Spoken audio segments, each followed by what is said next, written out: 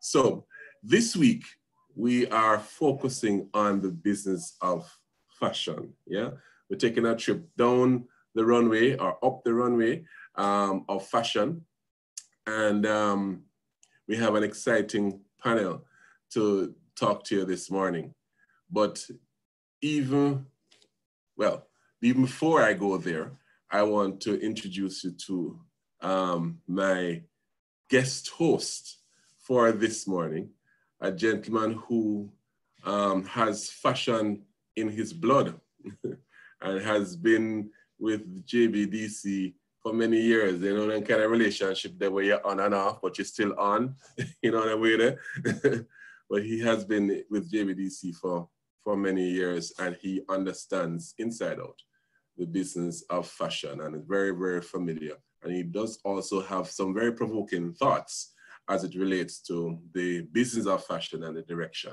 So without further ado, I want to welcome um, our fashion designer at JBDC, Mr. Robert Hall, who will be hosting um, the session this morning. But before Robert speaks, I want to, as you know, you guys know, uh, those of you who have been here before, know that we start with a poll because we want to know exactly who is in the room, who we're talking to, um, so that our panelists can direct their conversations accordingly.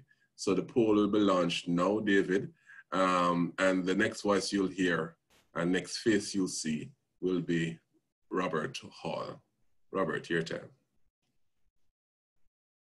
Good morning, everyone. Good morning, good morning, good morning. Welcome. Great to be interacting with you this morning. Uh, as uh, Mr. David said, this morning when we'll be looking at the business of fashion and what interesting times we are actually living in. Uh, of course, nobody expected COVID, and of course, I know prior to that, we were pretty much in a very um, positive time in terms, of, in terms of the economy. And out of that, I think a lot of us were enjoying some kind of um, buoyancy in terms of the business that we were doing. However, with COVID, of course, um, a lot of changes have happened. And we definitely want to be looking at um, how is it that we respond to this in terms of future. Um, just to give a little background, uh, we know that internationally for the last 10 years, we've had a very, um, we've, had a, um, you know, a bit of a different trajectory in terms of fashion because um, if you're not aware, you know, and of course we all know this because it has happened to us here that the internet has actually affected our lives in a major way. So, you know, nowadays most of us are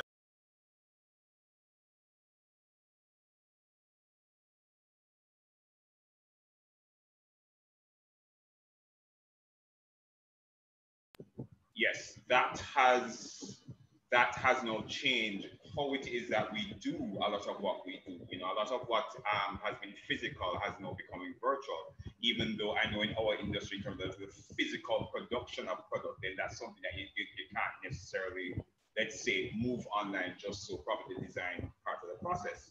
Um, with that, there have been many conversations that have been have, happening internationally, and of course, it has changed the tenor. I mean, to have us um, have us look at what we're doing very differently. And so, of course, we are most of us are aware that nowadays, if you're not, if you're in fashion and you're not, you're not considering how it is that you're doing what you're doing in terms of how you're producing and where you're sourcing and what is the, the environmental impact that what you're doing is having on um, you know the world then really and truly you know you really are not where you're supposed to be. Because of course we know that climate change prior to covid climate change was probably the top conversation the top consideration that you could just not ignore anymore. Anyway um, that being said um, of course, as we consider this environment and internationally, the business of fashion um, predicted that even though we had um, a number of years of serious growth in the industry, this was a year that we were expecting some kind of um, recession in terms of international economy, um, economically, and then out of that, that would be the effect of the kind of positive growth that we're seeing year over year. And then locally, well, locally for us now, I know, you know, a lot of fashion in Jamaica doesn't necessarily happen, you know, by itself per se.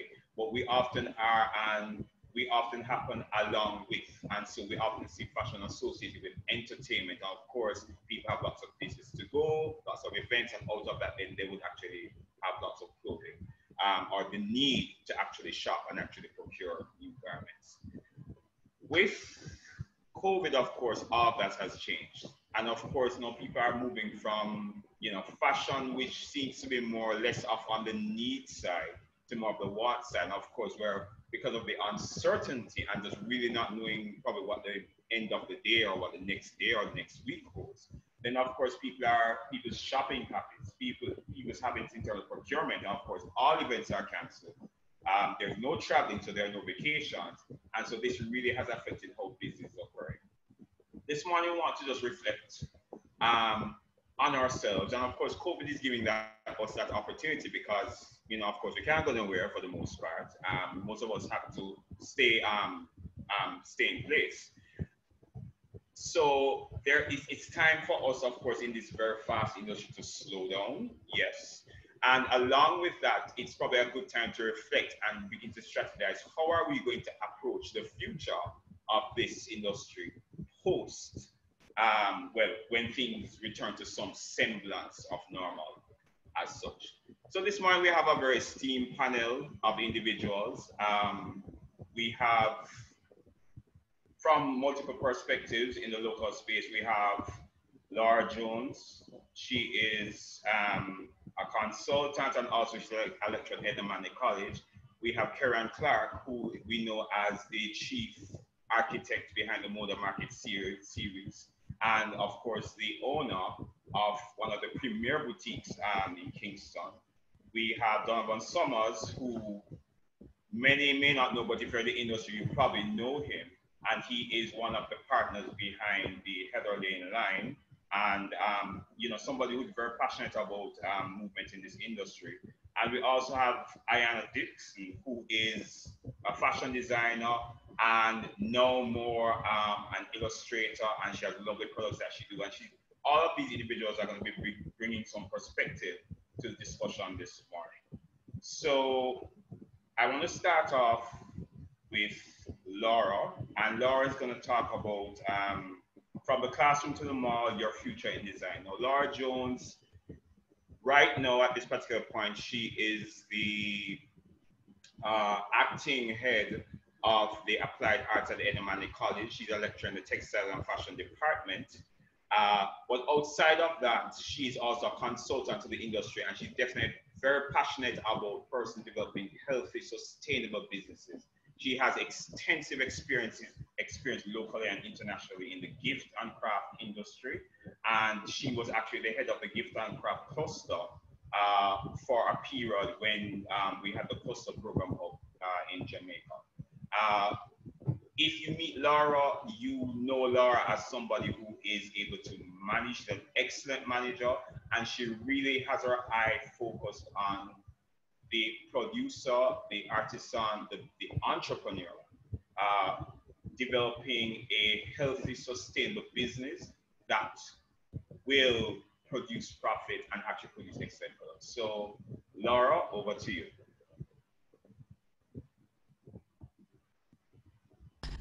Good morning, everyone. Um, thank you, Robert, my good friend. I didn't know I was going to be first.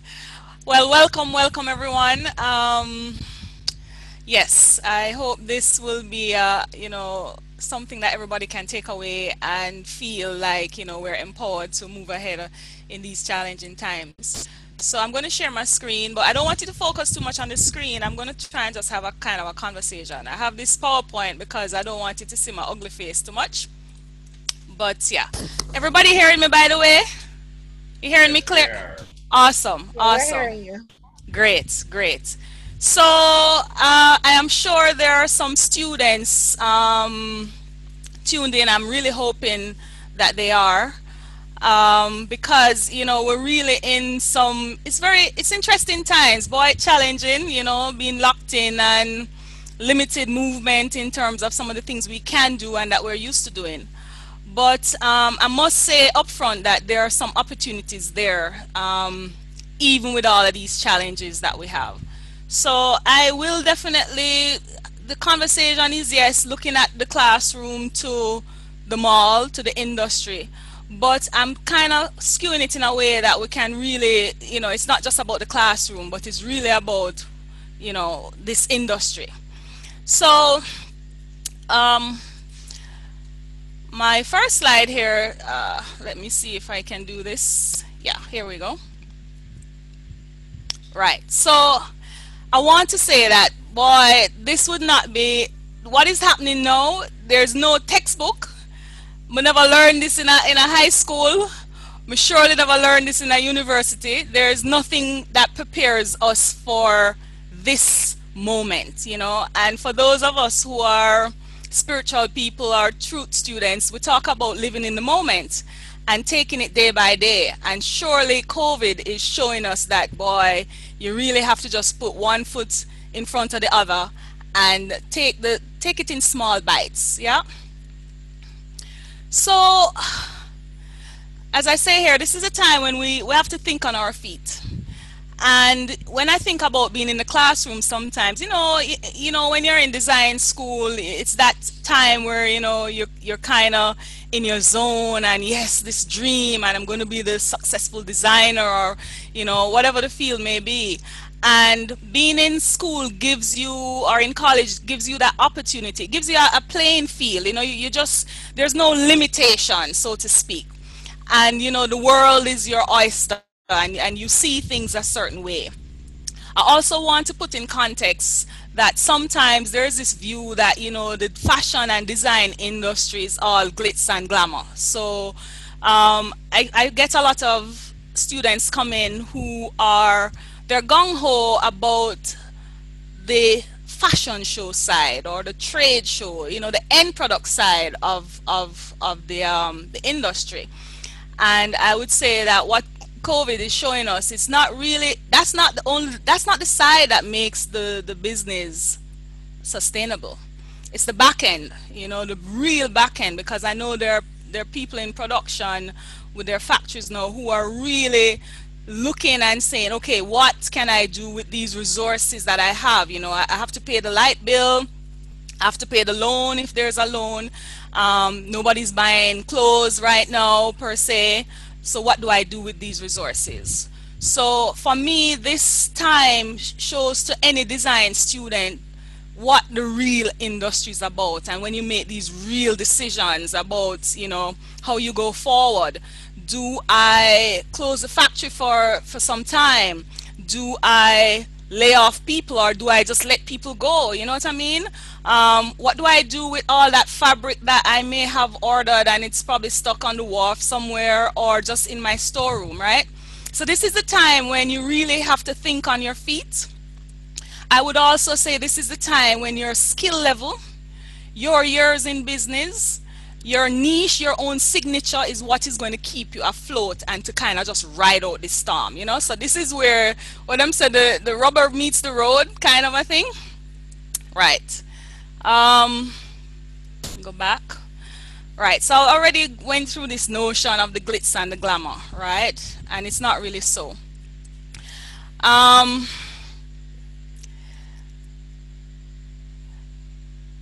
yeah, so I went through this already as well. So I want to just zero in a little bit on the opportunities that are there because there are opportunities there and I know Donovan would speak about oh you just had to wheel a little bit and come to making masks because there was a demand for that. And I want some of those, the young entrepreneurs and students in the um, logged in to understand that being a designer, being a fashion designer, any kind of designer, is also about flexibility. You don't box yourself in to say, boy, you know, I only make shoes and hat and bag and that's it. Um, one of the things, being a graduate of the Edna Manley College, really cemented in me when I left, when I graduated, was the fact that I was kind of, you know, I was multi-talented. I had different skill set that, um, you know, I could just really move across different sectors and, and feel comfortable and not just be saying that I'm a textile designer and that's all that I do. And that was one of my biggest um, things taken away from Edna Manley College and starting to work with um, JAMPRO at the time. That you know the flexibility to just be able to you know kind of like fit in and, and to, to to to to still be a creative but also be a strong creative in the business sector for argument's sake you know? And i want students to feel that you know what you do in college is not just about the the specific area but it's really how you apply yourself now to use your skill to use that knowledge in a vast amount of areas. And i would say right now covid this covid situation really gives designers the opportunity to see you know to stretch yourselves to see what are the opportunities there that you can really tap into. Um, the future of design is going to be driven surely by innovation and technology. And where maybe in jamaica we are not at the, the you know on par with other spaces. We have to keep this in the in the fore you know what i mean? And we have to make sure that the technology there's infusion of innovation and technology in everything that we do.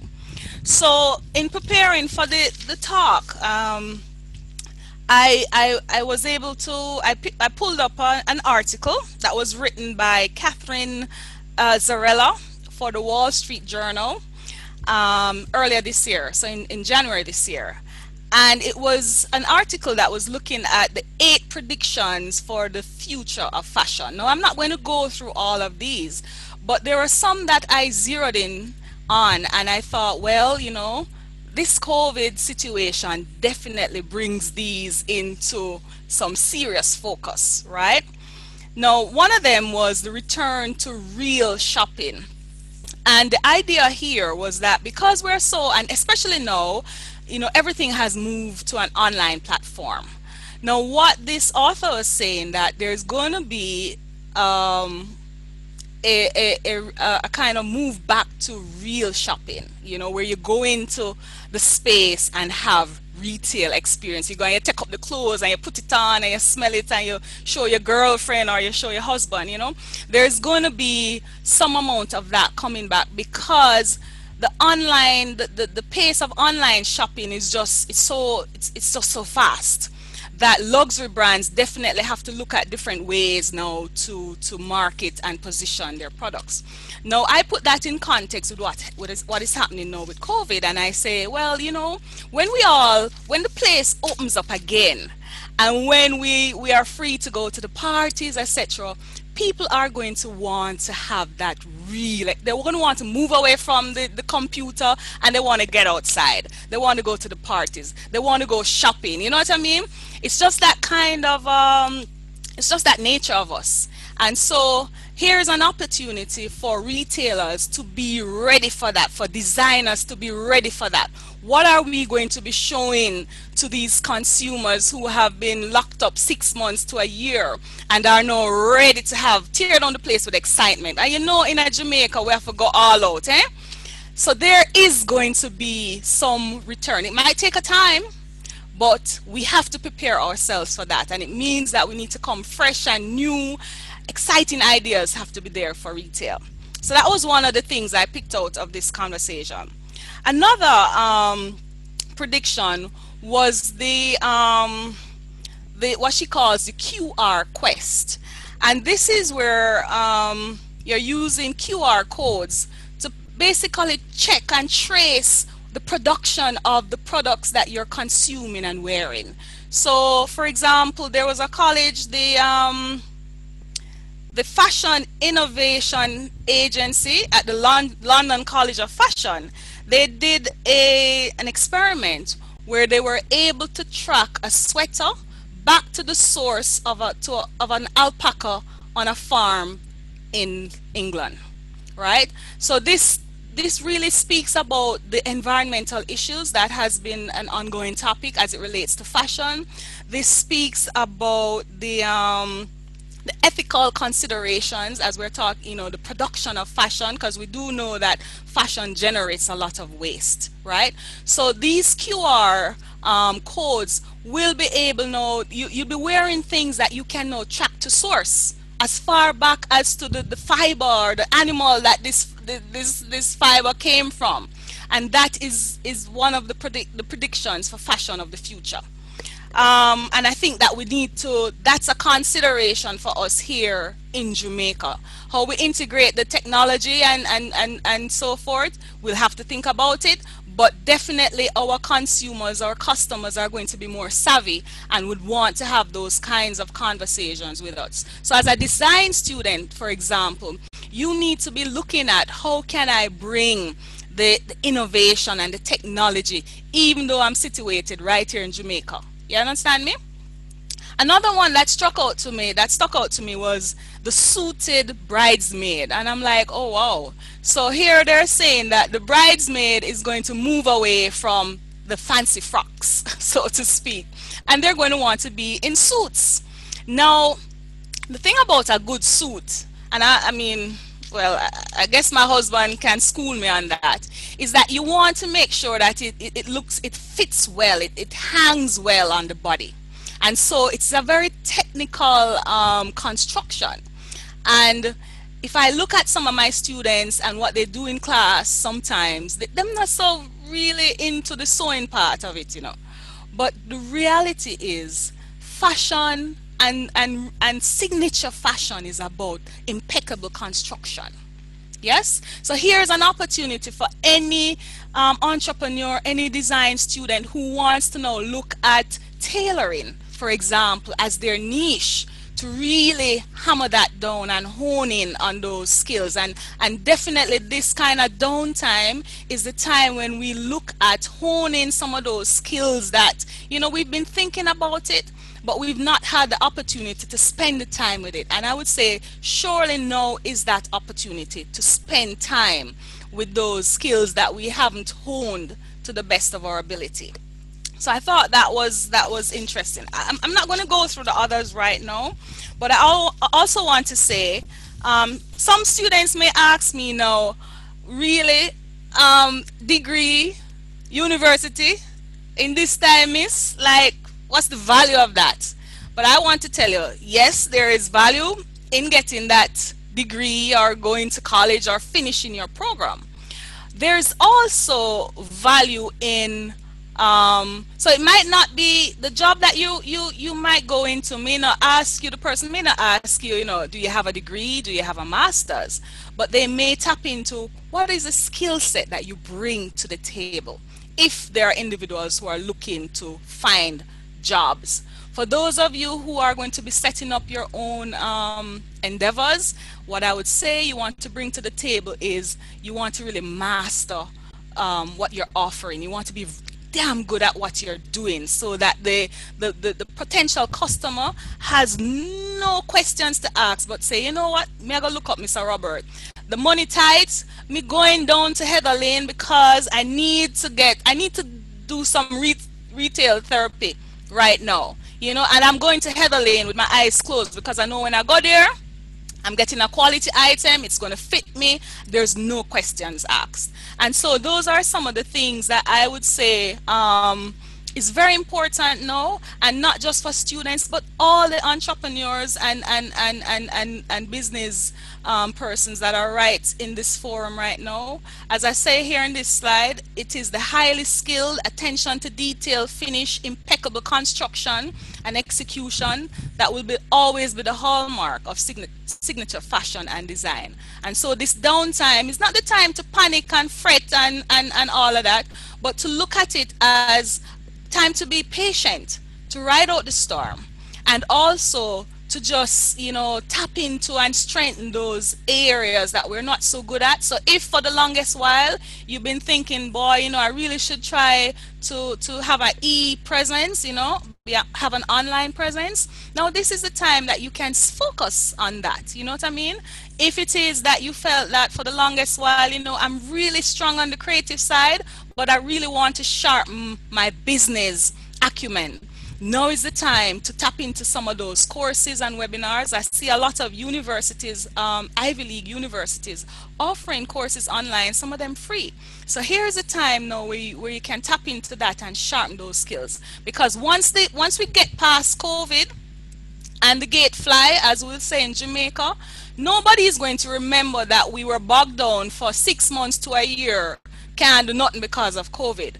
Everybody is going to want to be at that start line and just get out. And they're going to be going. And it's going to be fast. And only those who are armed and ready are going to, to, to, to win, so to speak. You know, those first out the blocks are going to be the winners. And so this is the time now where you see where you stand you you analyze also is this the industry i want to be in because this is the real deal these are some of the tough decisions that we will make in this business it's not only about the fashion show and the trade fair and we'll go on we see the pretty things and you know the makeup and, and you feel hell no it is all about the real back end work and the, the hard decisions that we have to make behind the scenes to make this industry really as sustainable and as as glitzy as we as we see it. So I think I'll stop there for now.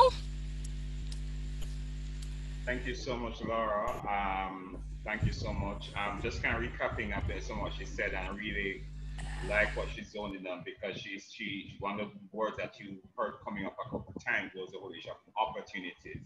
You know, one person said that look, every crisis has associated opportunities. So it's really great. Another thing that I found point out was she highlighted the fact that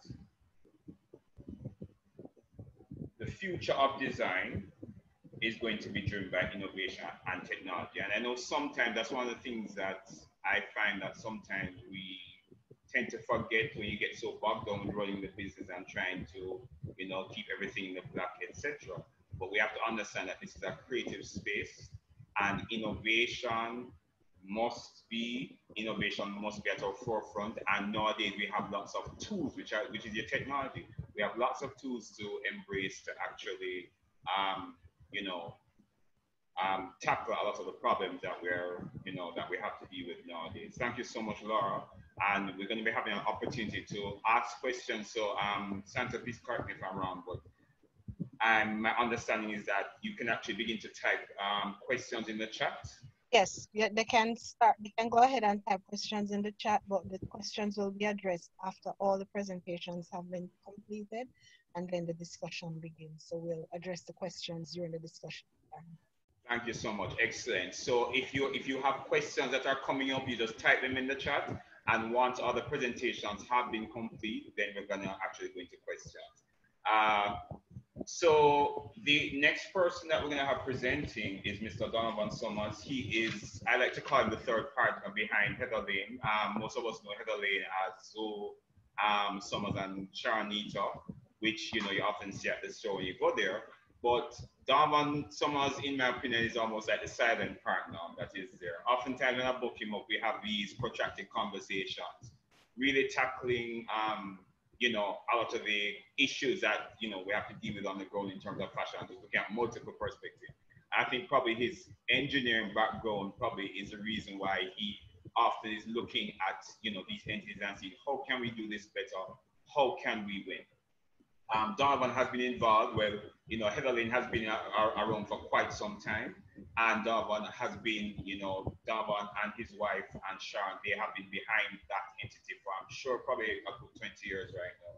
But um, he also was the um, head of a fashion cluster um, a couple of years ago where you know he was the one leading that group of individuals and ensuring at the point that you know, they were, you know, you know, making a concerted effort to just bring the different poles of the industry together to something organized that, you know, as a country that, you know, we could continue the whole process of, you know, establishing this space. So Donovan this morning is going to talk to us about carving out your own niche um, within this space. And so Donovan, over to you. Robert, uh, thanks very much. Um, morning to everybody.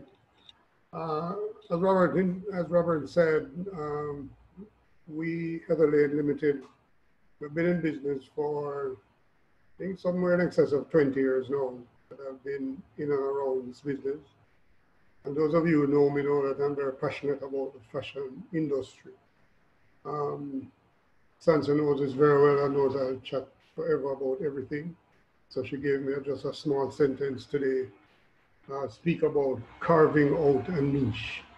For those of you who don't know, I'd introduce a little bit to Heather Laine. Um, my, my techie son is stretching over here to share the screen and just a few pictures on what we do. Um, we we are in the fashion business. We we make casual wear primarily. Our main market is the hotel, resort, gift shop, as well as our own boutique um, in Kingston. Uh, the pictures that you're seeing, some of the stuff we make, um, we only sell what we manufacture, manufacture locally. Um, presently, as this uh, picture shows, we are making masks. And I will make a little comment later about just being open to new opportunities. You really have to make what people are buying. Um, there's no point doing anything else. And presently, masks are an opportunity, and I think a good opportunity if we do it and do it properly. Uh, as I said, I've been asked to speak about carving out a niche.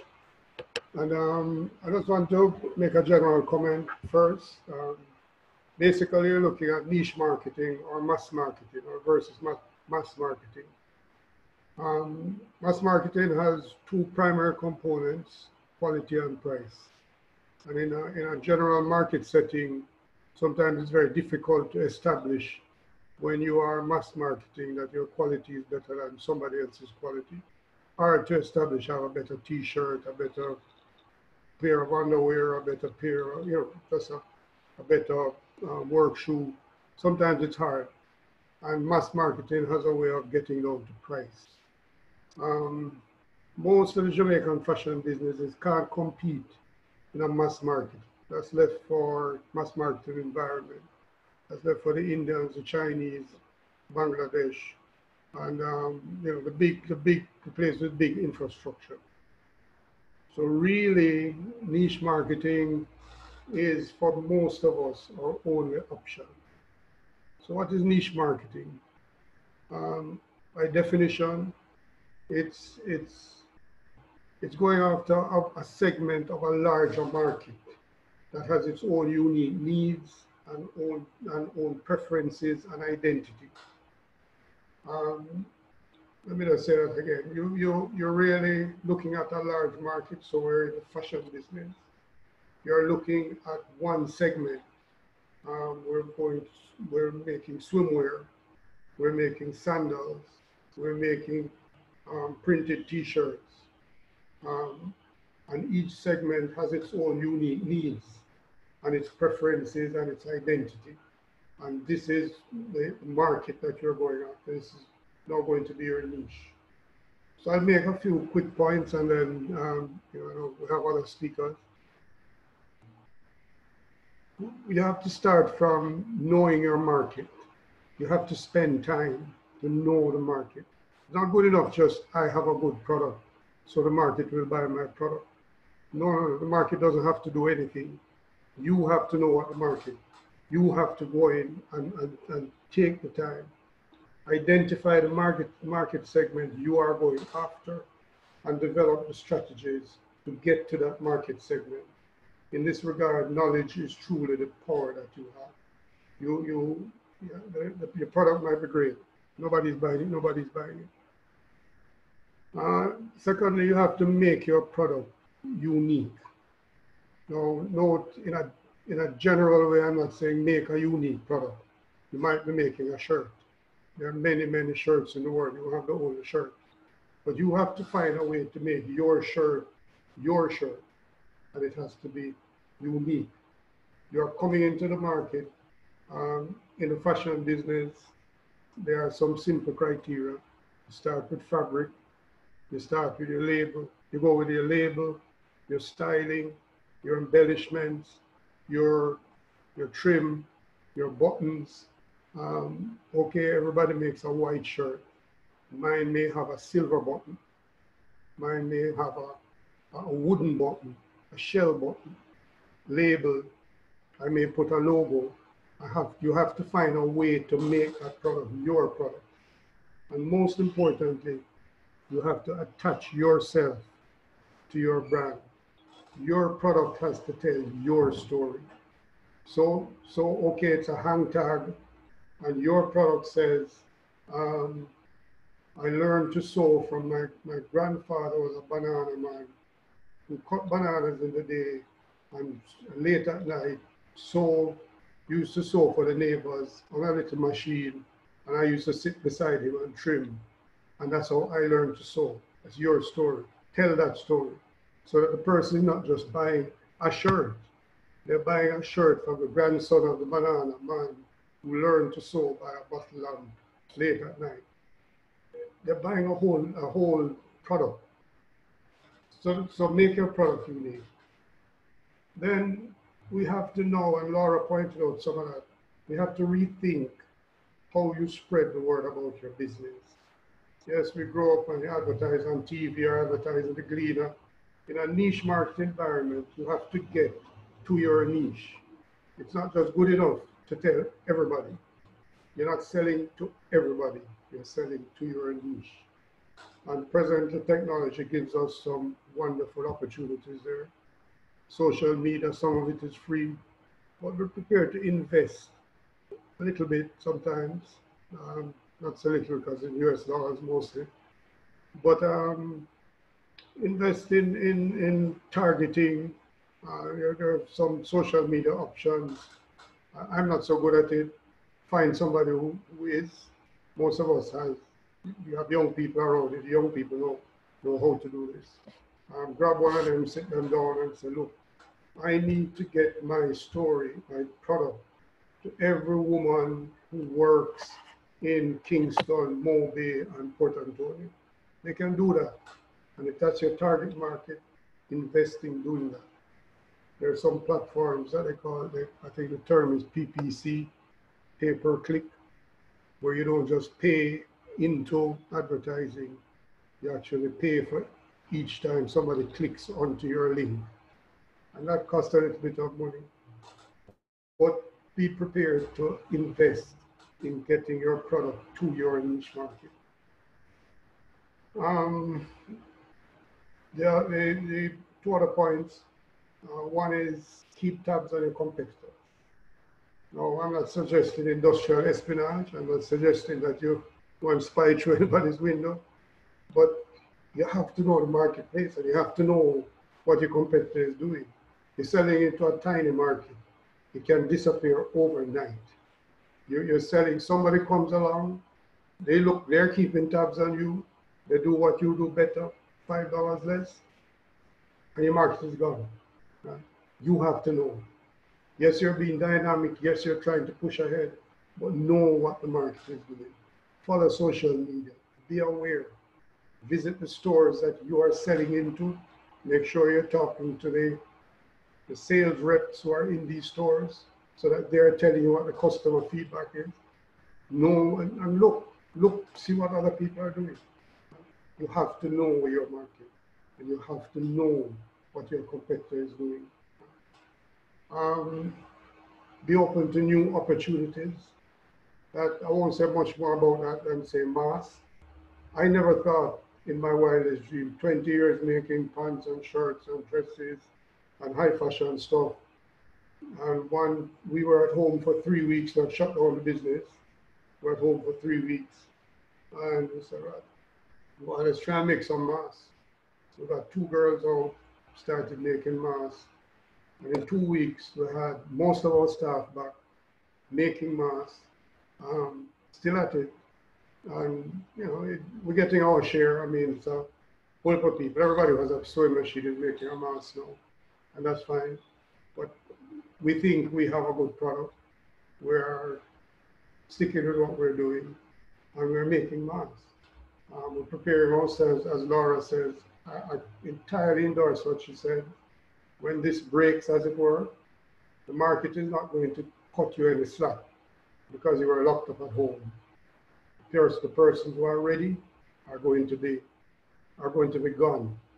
And by the time you get back in there and tell them, oh, just getting the fabric now and I'm starting out, they're going to miss whole opportunity and you're going to create a working space for your competitors that you may take years to get back to where you are. So we, don't, we don't have the luxury of wasting time on this. And lastly, in this niche market business, listen to your customers. You have to hear your customer. And I mean, really listen. Your customer knows your business better than you do. No, no, let me say that again, because you may not accept that. Your customer knows your business better than you do. Your customer does not know how to do what you do. They might not know how to sew clothes, might not know how to make a bag. And most times they don't. That's why they're buying it. But they know your business, emphasis on business. You are in the business to take their money. You want to get their money. And they know why they spend their money. And that's the business right there. They know why they spend that dollar. So you have to listen to them. You have to understand what is going to make this customer spend this dollar. And then you have to provide that. All right, so that's my piece on carving with your niche. Um, I, am here. I can answer questions after, but I'm looking forward to the other presenters. And I didn't say hi to Kerry, I didn't say hi to Laura. And I don't know how to do it, obviously, the chat thing, because I'm technically challenged, but I'm here. All right, guys. Um, I hope we were really hearing what he was saying because I really appreciate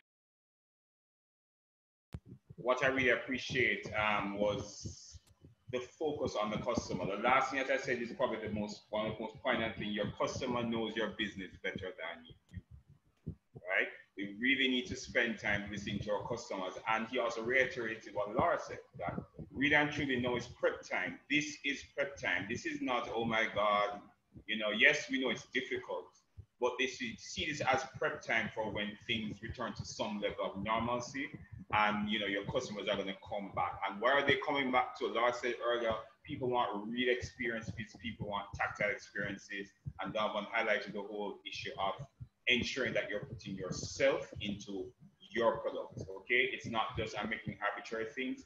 Know your market and ensure get to know them well, and ensure that you're putting yourself in your um, product. And that's a good platform to segue into our next presenter, who is the fabulous and awesome Kerry and Clark of um, Kerry Man, Woman and Home, which is, if you never know, I'm sure you know, but just in case you never know, is one of the premier boutiques that has been sustained from I don't even know how long, but I mean an excellent compendium collection of beautiful products across the fashion and lifestyle segments.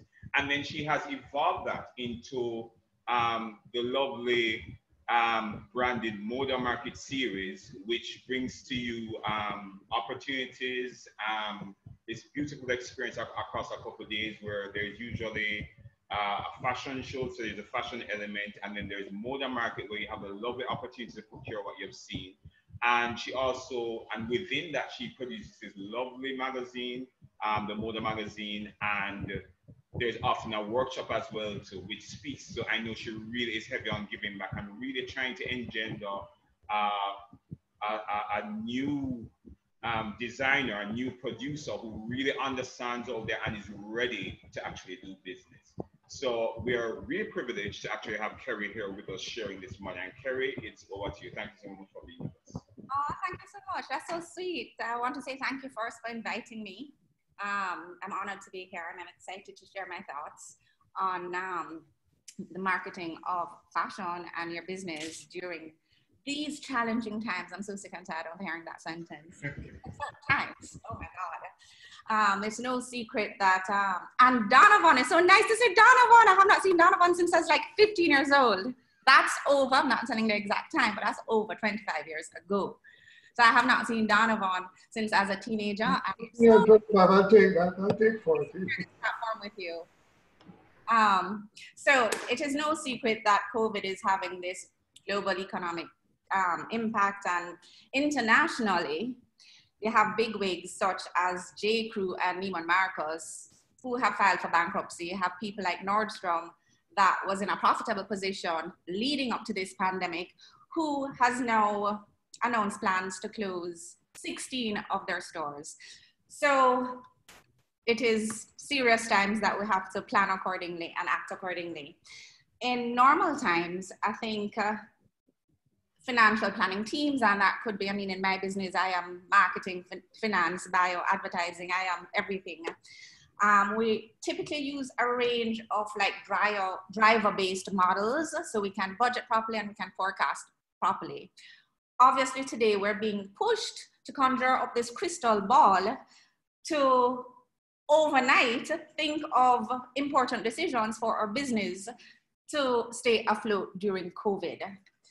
So I personally don't think COVID is all doom and gloom. And if you listen to, you know, some of the people I like to follow who are not necessarily in fashion are the likes of a Bill Gates, a Warren Buffett, a Elon Musk. And it's always interesting to me to look at highly successful people to understand how they think and how they look at crises so that we can create opportunities when times like this come about.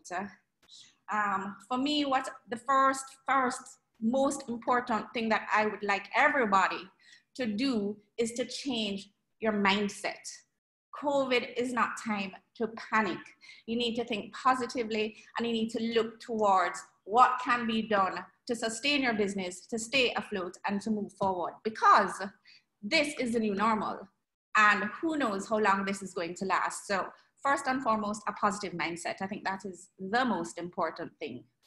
Um, and we definitely have time to develop that positive mindset if we didn't have it before. So, ah, let me share my screen. It's first time using Zoom. Um, there we go. Are you guys seeing the screen? Yes, sir. All right, so the first thing I would like to talk about is uh, online platforms.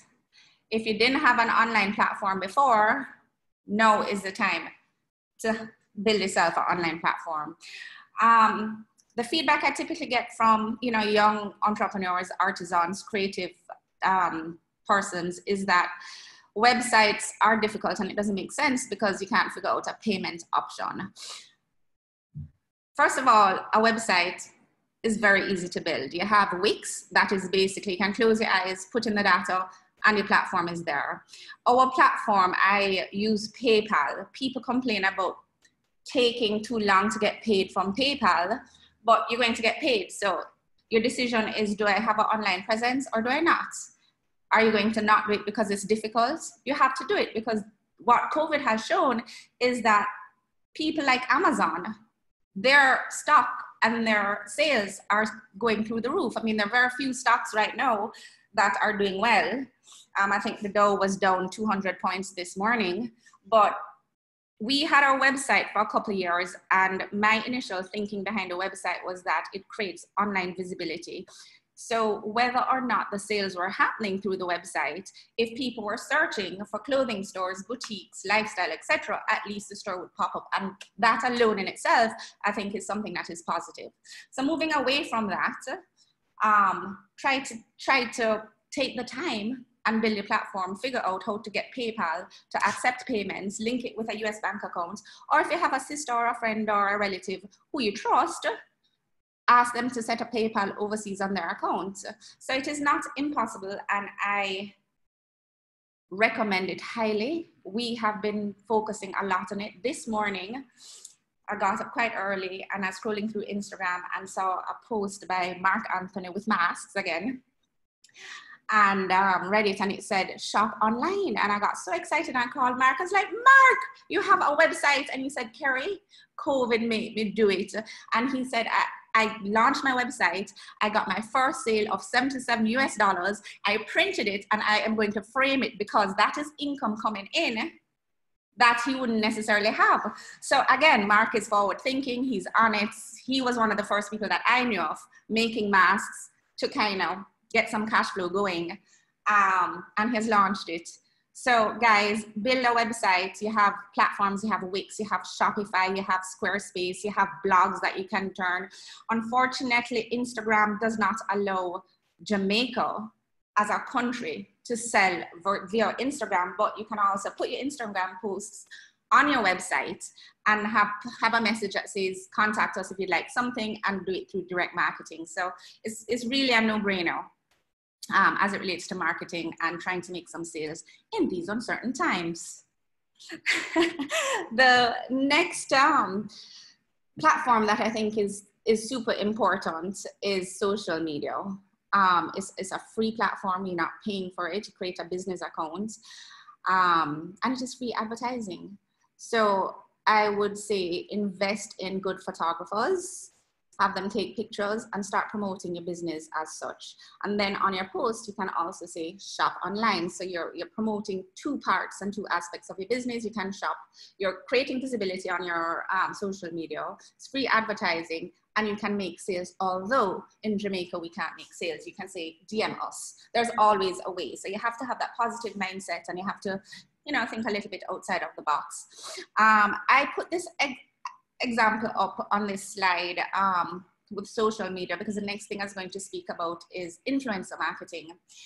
And fashion is so interesting to me because I have um, seen fashion go from, you know, in magazines where Mag Vogue pretty much created supermodels of the world, and that was in the 80s.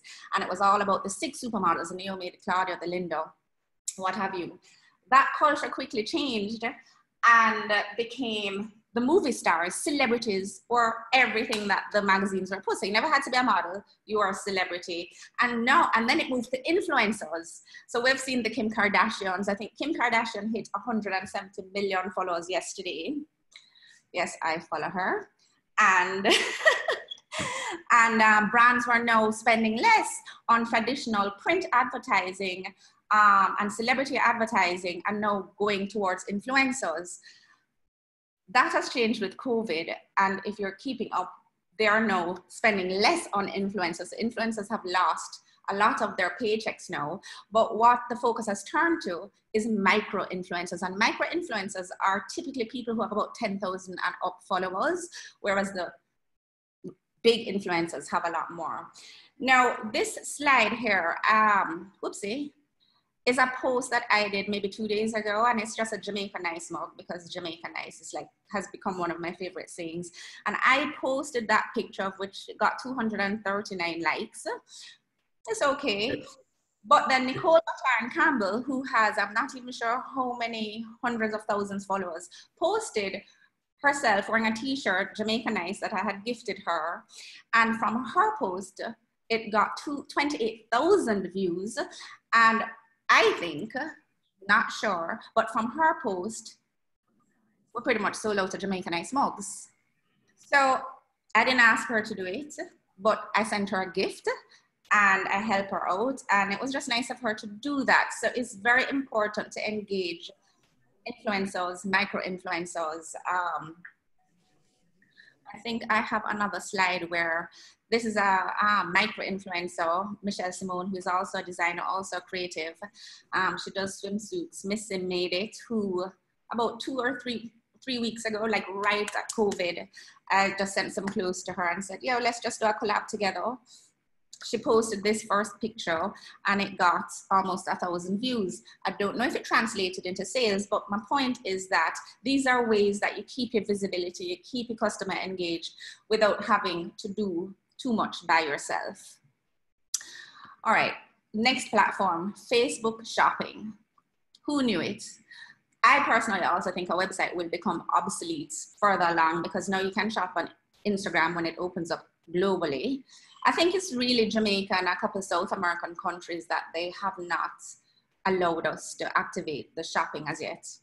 I don't know why, but you can actually have Facebook shopping. You can I use my Facebook and Instagram um, laterally. So I just link the both of them. So I have like that double visibility. But you can create a shop on your Facebook page. Once you have a business account, you create a shop and you can also push Facebook shopping. So why not take advantage of doing that? And then like Laura was saying, you know, forget about um, online for a second. People actually still like personalization. Who doesn't want to feel special, right? So we can go back to the days of direct marketing. And like Donovan said, know your customer, listen to your customer. A customer calls you, they say something, make them feel extra special. Like, you know, sometimes I do personal shopping for people and I'm like, do you want some things? I can send a driver with a bag for you, can choose and send it back at your convenience. Um, and we figure out how paying will happen after that. But there are a ton of opportunities to assist us in times during COVID. And like I said, I think the most important thing is to ensure that you have a positive mindset because if you don't, you're just going to spiral into this dark, deep hole that is very difficult to climb out of. Um, interestingly, um, Kerry Man Woman Home celebrates 16 years this year. And in January, I had actually given my landlord notice to say, I am moving, I'm going to look for a bigger space because I'm going to expand. It's time to revamp for my Sweet 16. Hence, it's going to be Sweet 16. Um, COVID happened, and I am still there. And just this month, I decided that at the beginning of May that I'm going to take two months off um, to regroup, to plan my space, revamp my logo, and reopen the store for the last quarter of the year, um, expand it, revamp it, reopen. So again, I look at this as an opportunity to take the time and just revamp the brand and relaunch again because hopefully by the end of the, the year, we should start seeing an upward trajectory, right?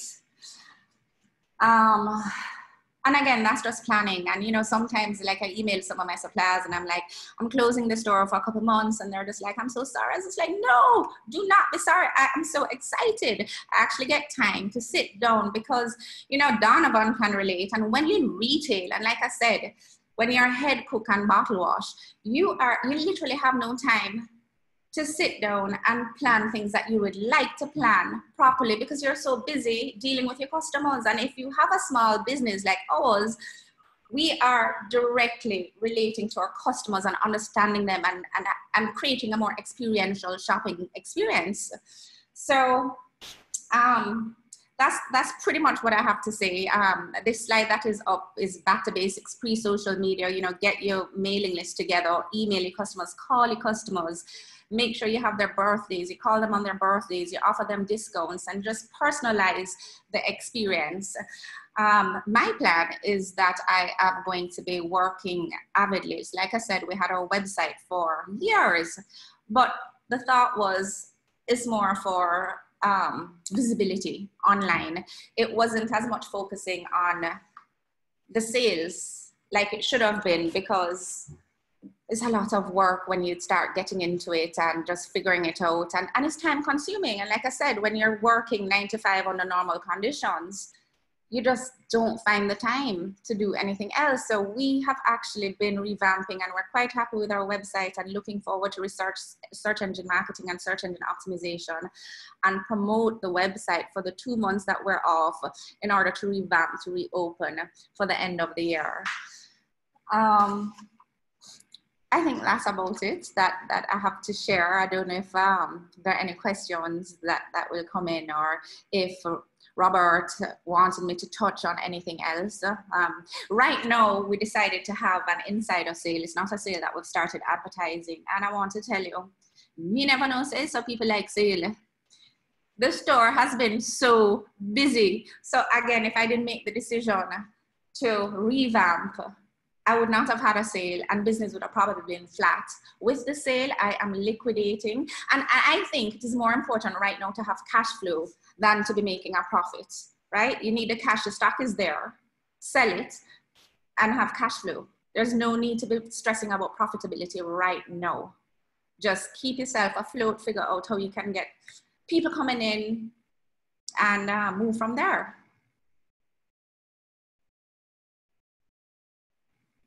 Your mic is off, Robert.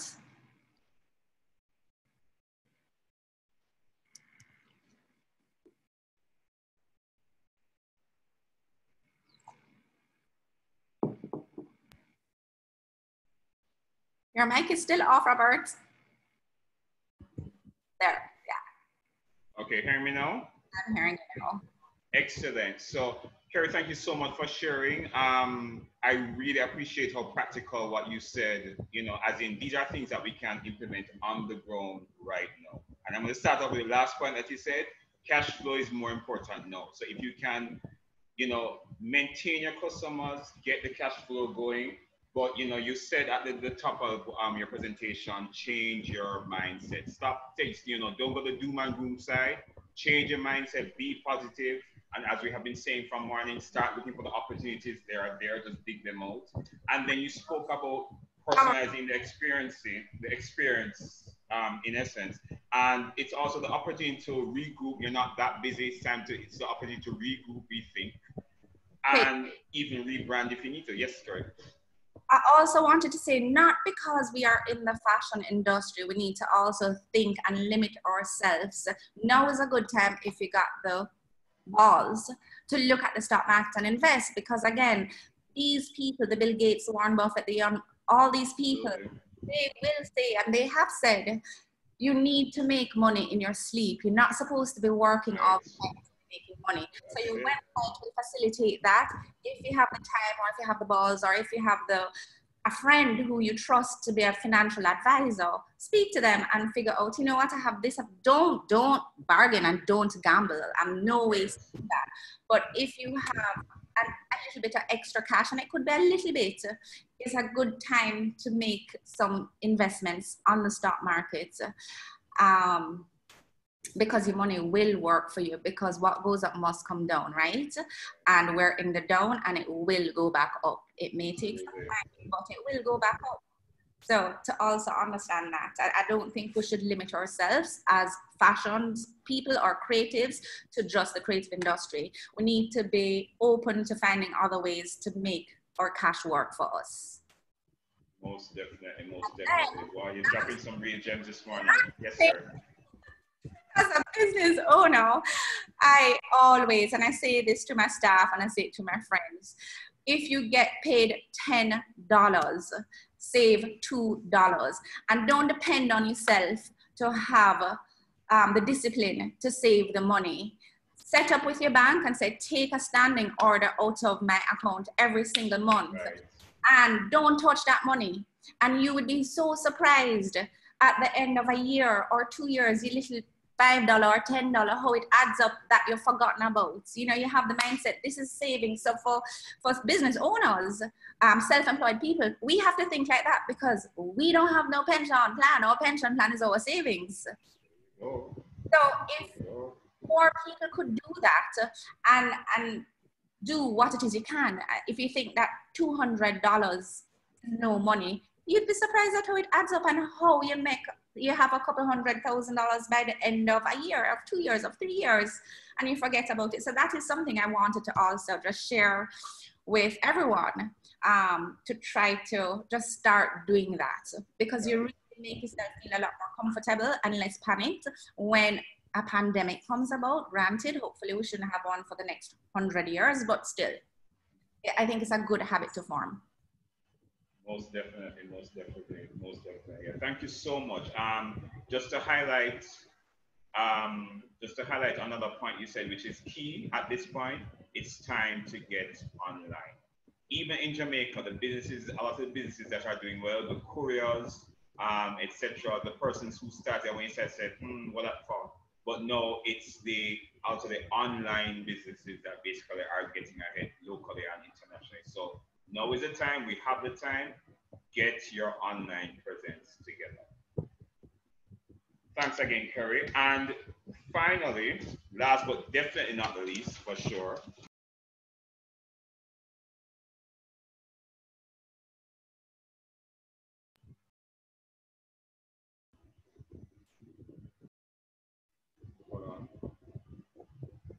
We have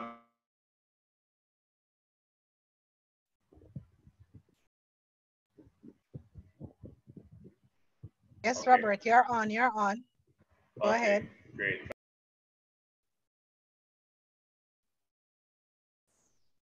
Robert, your mic keeps chipping in and out. Okay, are you hearing me now? Yes, I am hearing you. Okay, excellent. Thank you so much, Sansel. Um, so our final presenter this morning is Ayanna Dixon of the ASD brand. Uh, Ayanna I have a long relationship with Anne. I um, actually taught her a long time ago. And it's really great. I read it's really great to just see how she has um, pivoted and just used her resource, her talent to really just evolve a brand that you know is fairly known, definitely known in the creative community. And she really innovates in how it is that she engages the market on different platforms. You know, she started with fashion as the main thing. Now fashion is just one of the things that she actually does. And you know, she she she's done lots of collaborations with multiple people, including um, Collection Mother, where she does fabulous um, murals, often for the entry space, etc. And even you know in other zones as well. So she ha- actually has a book out. Um, I think the sky is not the limit. I think that's it. Uh, and um, just really multifaceted. And I think the embodiment of just how is it that we are to engage um, the space and the market in terms of just getting ahead.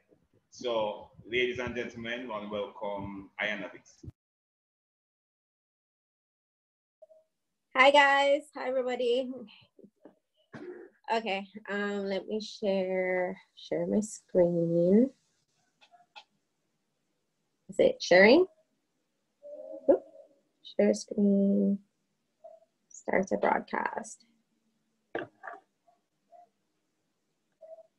Okay.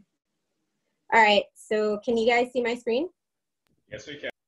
All right, great. So um, basically, when I started, I'm gonna tell you guys um, about my journey and kind of teach you some little nuggets along the way. So when I started um, as a fashion designer, most people remember me from Mission Catwalk. And basically, when I was on that show, I was fresh out of school from New York and I honestly I wanted to be this luxury designer in Jamaica, doing ready to wear and stuff like that. And as um, after the show, I kind of realized that that was really, really hard to get into because of, you know, financial limitations in terms of getting luxury fabrics and also just finding the right production team. I didn't necessarily want to produce everything for myself.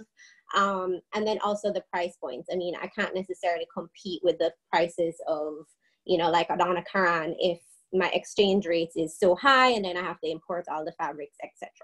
So um, that was my start being on Mission Catwalk. Um, when I just just decided to do my brand though, ASD, I said, okay, well I love swimsuits. So I used to make swimsuits for myself and I used to do these hand painted shirts. And literally the hand painted shirts were just something that I did for myself.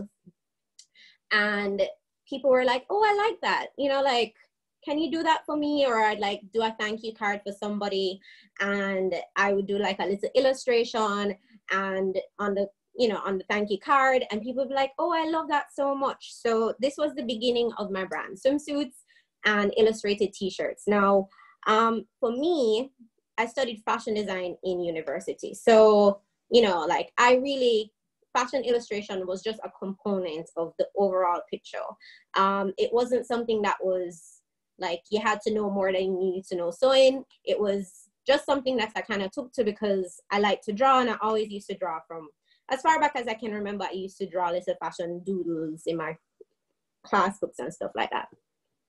Anyways, so um, when I decided that clearly the route of going to luxury to become a luxury Caribbean brand was just not the route for me, just based on the restrictions that I had, not having um, cash flow or investment or not having raw materials easily to be accessed, etc.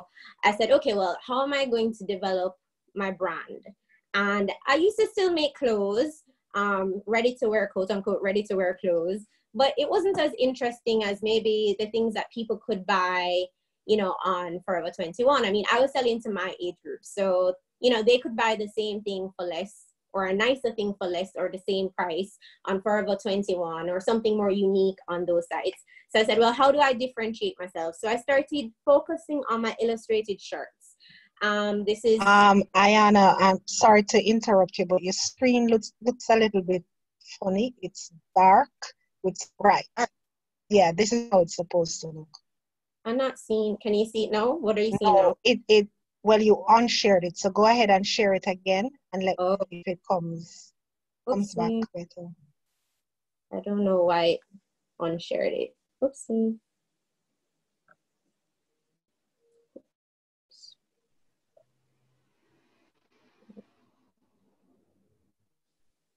If you can get it. Yeah, it Share be coming. screen, it's a green button right beside the chat. Is it okay now? Yes. Yes. So go ahead with the right, right, Right. right, right. Great. Okay. Yes. So so yeah, so I said, okay, well, how am I going to kind of differentiate myself in this market? Because clearly if I'm competing with like, you know, stores that have kind of similar products for less money, then people are usually gonna just opt to I mean, of course there are people who will be like, oh, I love your stuff and stay true to your brand, but you're still gonna have to compete with like a Forever 21 and they have like a really cheaper price point than what I'd be able to kind of produce and make profit off of. So I said, okay, well, I'm gonna go the illustrated route. So that's how I kind of decided to become an illustrator. Um, at first, I used to just do the hand painted shirts and the art pieces, um, like you see here on the left. And then I said to myself, well, okay, well, how can I do the illustrations on something different? And basically, I had an event that I was supposed to participate in, something kind of like Moda. And the person said to me, okay, well, you know, you have to bring illustrations. And I said, well, okay, well, how am I going to bring my illustrations if it's only, at the time, it was only the shirts and only the paintings? I'm like, that's so boring. What else can I put my illustrations on? And my friend literally said to me, you know what I saw? I saw like some makeup pouches. She's like, why don't you do that? And I was like, I can do that. I can put my illustration on that. So then I started doing the pouches. And once I started doing the pouches, I thought to myself, okay, well, am I am I an artist or am I a fashion designer? And I was like kind of thinking about it because in my heart I'm a fashion designer, but clearly now I'm turning into an artist, right? So um, somebody said to me, "Oh, you're an illustrator," and I was like, "Oh, what? An illustrator? I didn't even know that was like a title." And so I started looking online. I'm doing research on like an illustrator and fashion illustrators, and I found so many fashion illustrators. And um, just stopping here to say to you guys that it's so important to just, if you're interested in something, to do the research. So um, I like to do these these fashion sketches and I was on YouTube and I was on Instagram and I was on Facebook and I was searching and finding all these other people who are like me that were doing these types of products, like putting their sketches, whether it was fashion illustrations or illustrations of people or just artwork on different items. And that gave me the idea to do a calendar. And the calendar is like definitely one of my more novel products. It takes a lot of time. Clearly, I have to illustrate 12 um, different months, and it's it's a pretty high price point based on the fact that I produce everything locally and you know the quality has to be a certain standard.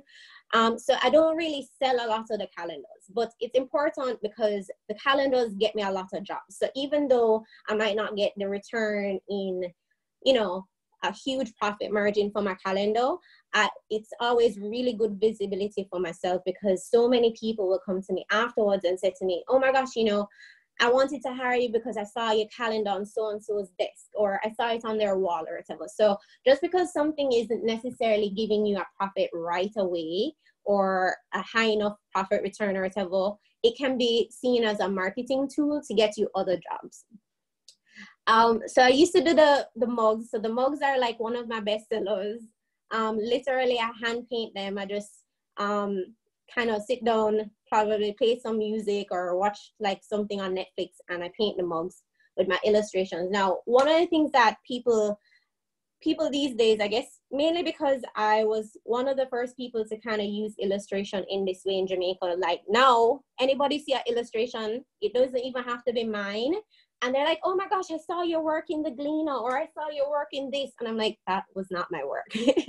so my signature are my eyelashes. And um, what's important about that, which I'm going to talk about right now, is just kind of being staying true to yourself. So the story behind the eyelashes, and I don't know if Robert remembers this, but when I was did my first fashion course at Edna Manley before I went away to university, I hated drawing eyes. I always thought my eyes were ridiculous looking when I drew them.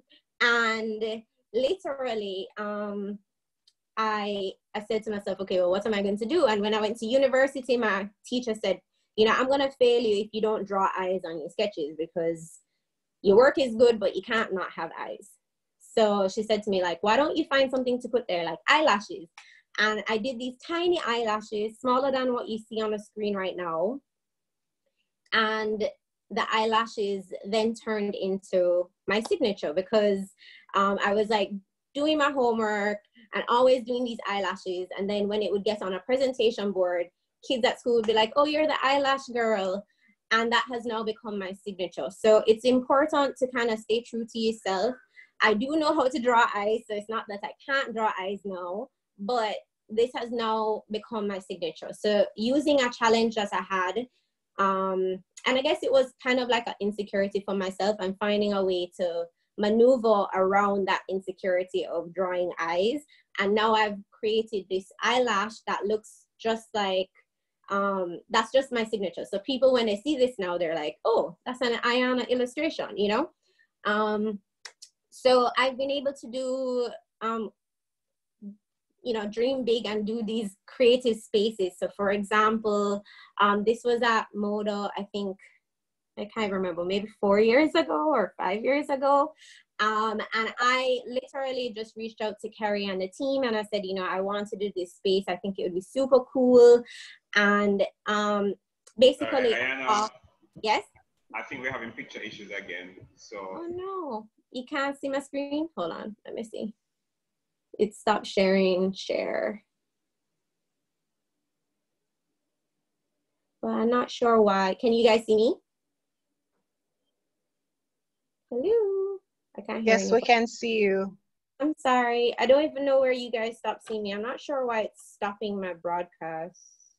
It's okay. Just go ahead and, and continue. Cause, yes. So can you guys yeah. see oh? Yeah, we're seeing that one. Okay, cool. So I'm not sure if you were seeing this before. These were just the mugs that I was talking about. Um, so this space, literally, I saw a very famous fashion illustrator in Australia do a, a big space like this, and I was like an installation, and I said I want to do something like that.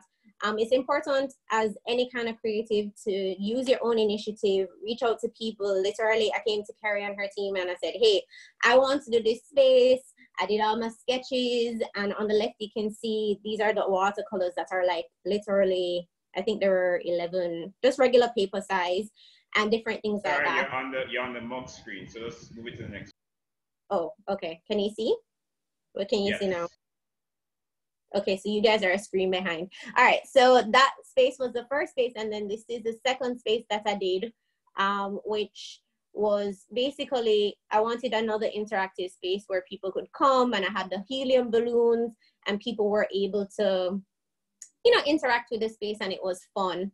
Now ASD has gone into um, because clearly I'm a fashion designer, right? So I wanted to merge my illustrations with my actual clothing. So now I do a line of not just the t-shirts, I still do the t-shirts, but I do screen printed and hand painted shirts. I mean dresses and different things. Everything is um my brand is really about empowering women through illustration and the fact that representation matters. So you'll see all types of different women with different hair types, different skin colors, different bodies, um, just celebrating life and doing adventurous stuff. Um, speaking to the book that um, Robert said I had, so as a part of empowering women through illustration, I now have a coloring book for little girls, um, kind of just saying to them, hey, you can be anything. So you can be a teacher, but you can also be a pilot. You can also be a CEO. Um, non-traditional careers that I mean, because I went to a very traditional high school, they turn out doctors and lawyers and accountants. Nobody was really saying, hey, you could be a fashion designer, or you could be an artist, or you could be a singer.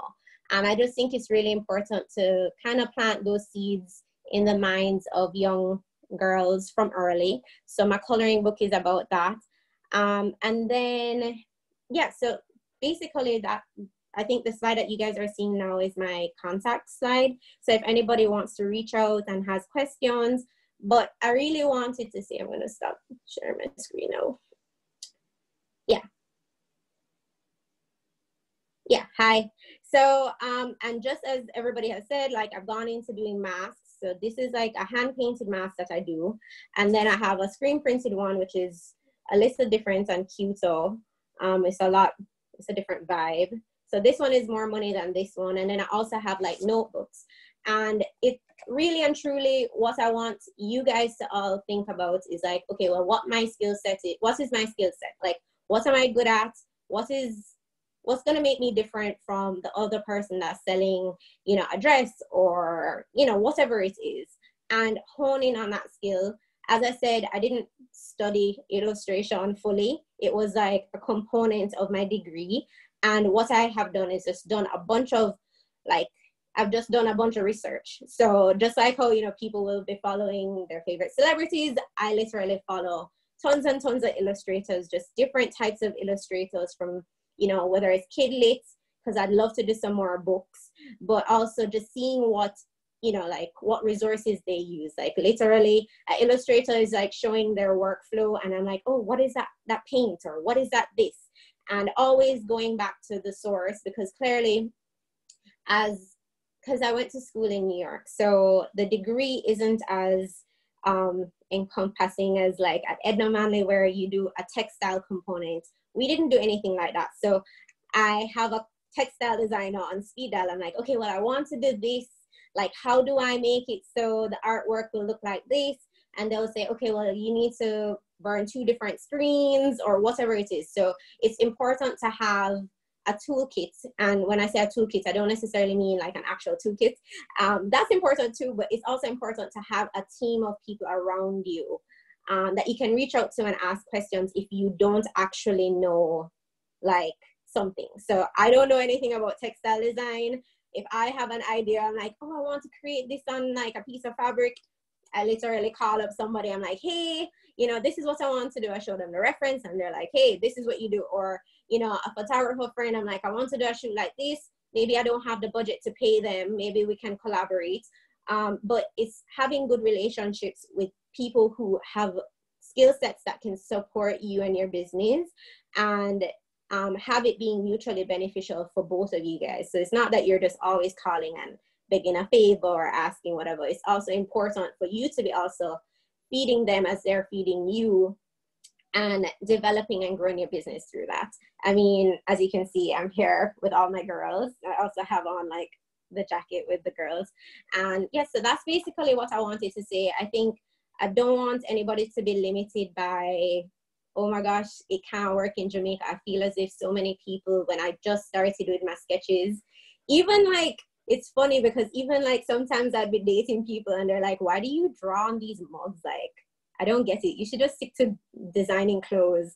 And clearly that didn't work out. But now they're like messaging me like, oh my gosh, I love your stuff. I'm so proud of you. Like, it's so important to believe in yourselves, guys. Like, no matter what it is, like, believe in yourself. And I think for me, that's a lesson that I probably should have learned from Mission Catwalk. Uh, Mission Catwalk was very, very hard for me because I was just out of school. I didn't really necessarily think, I didn't believe that I could really, really achieve, you know, like this big goal or whatever. But it was also a great opportunity for me. I grew a lot and um, it really showed me that if I, I think if I had believed in myself more, I would have placed first because I came second in that show. Um, and I probably would have done better and I would have placed first. So believe in yourself, guys, and have people around you who believe in you. And that's all I have to say. Any questions or, well, now is not the Thank question. you. Thank you so much, Diana. Um, you know, and I hope we have just been looking at the whole trajectory since um, morning. Um, just highlighting some of the things that she said, differentiate yourself, differentiate your brand. So her move to illustration was a differentiation um, decision. It was about making, it's part of what Donovan had said earlier about what, so yes, you're making shirt that, that, but what what makes the shirt your shirt? What makes the thing your thing? Right. What, what you know, what differentiate yourself from everybody else that you give them a reason to come to you. And of course, I mean, everybody knows in Jamaica, you know, you want illustration, go to Ayanna. Um, stay true to yourself. Um, research, research, research, research, research, research, research. Stay true to yourself. and use your own initiative. Because trust me, I mean, I've seen Ayanna's work on some spaces that when I saw, I mean, I was pleasantly surprised. And I was like, I didn't ever think about illustration being in that kind of zone. But use the initiative. You know, the worst, you know, as them say, not meet a tribe was a failure. The worst is that the people can't say, well, no, not right now, you know. But um, but yeah, so you know, I hope that we've been enriched by the discussion. I'm seeing some positive um, feedback in the in the chat. And just to remind you that if you actually have questions, now is the time to put them in, and we want to go through um, and begin to address, address some of those questions. Uh,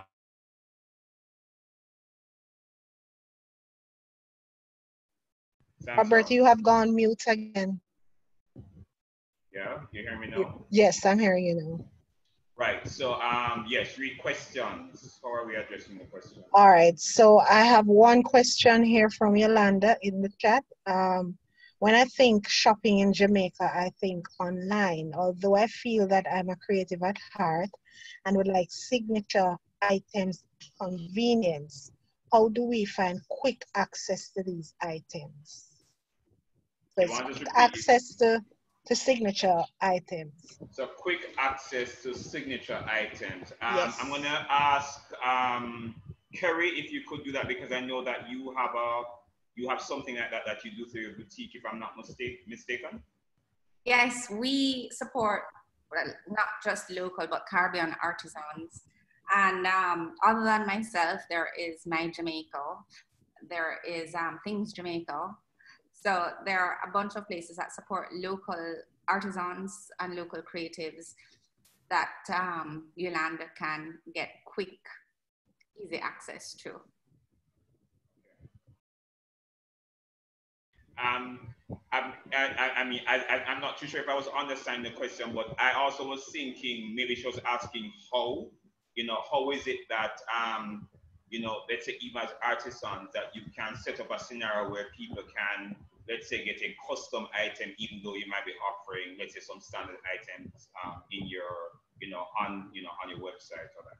So, as a creative, I would suggest again going back to building your own platform, starting if the website is intimidating, doing it on your Instagram, but ensure that you have good quality pictures. I mean, any blog that you read and all the platforms which Shopify, Squarespace will tell you that when you have good quality pictures, the products will sell easier and faster.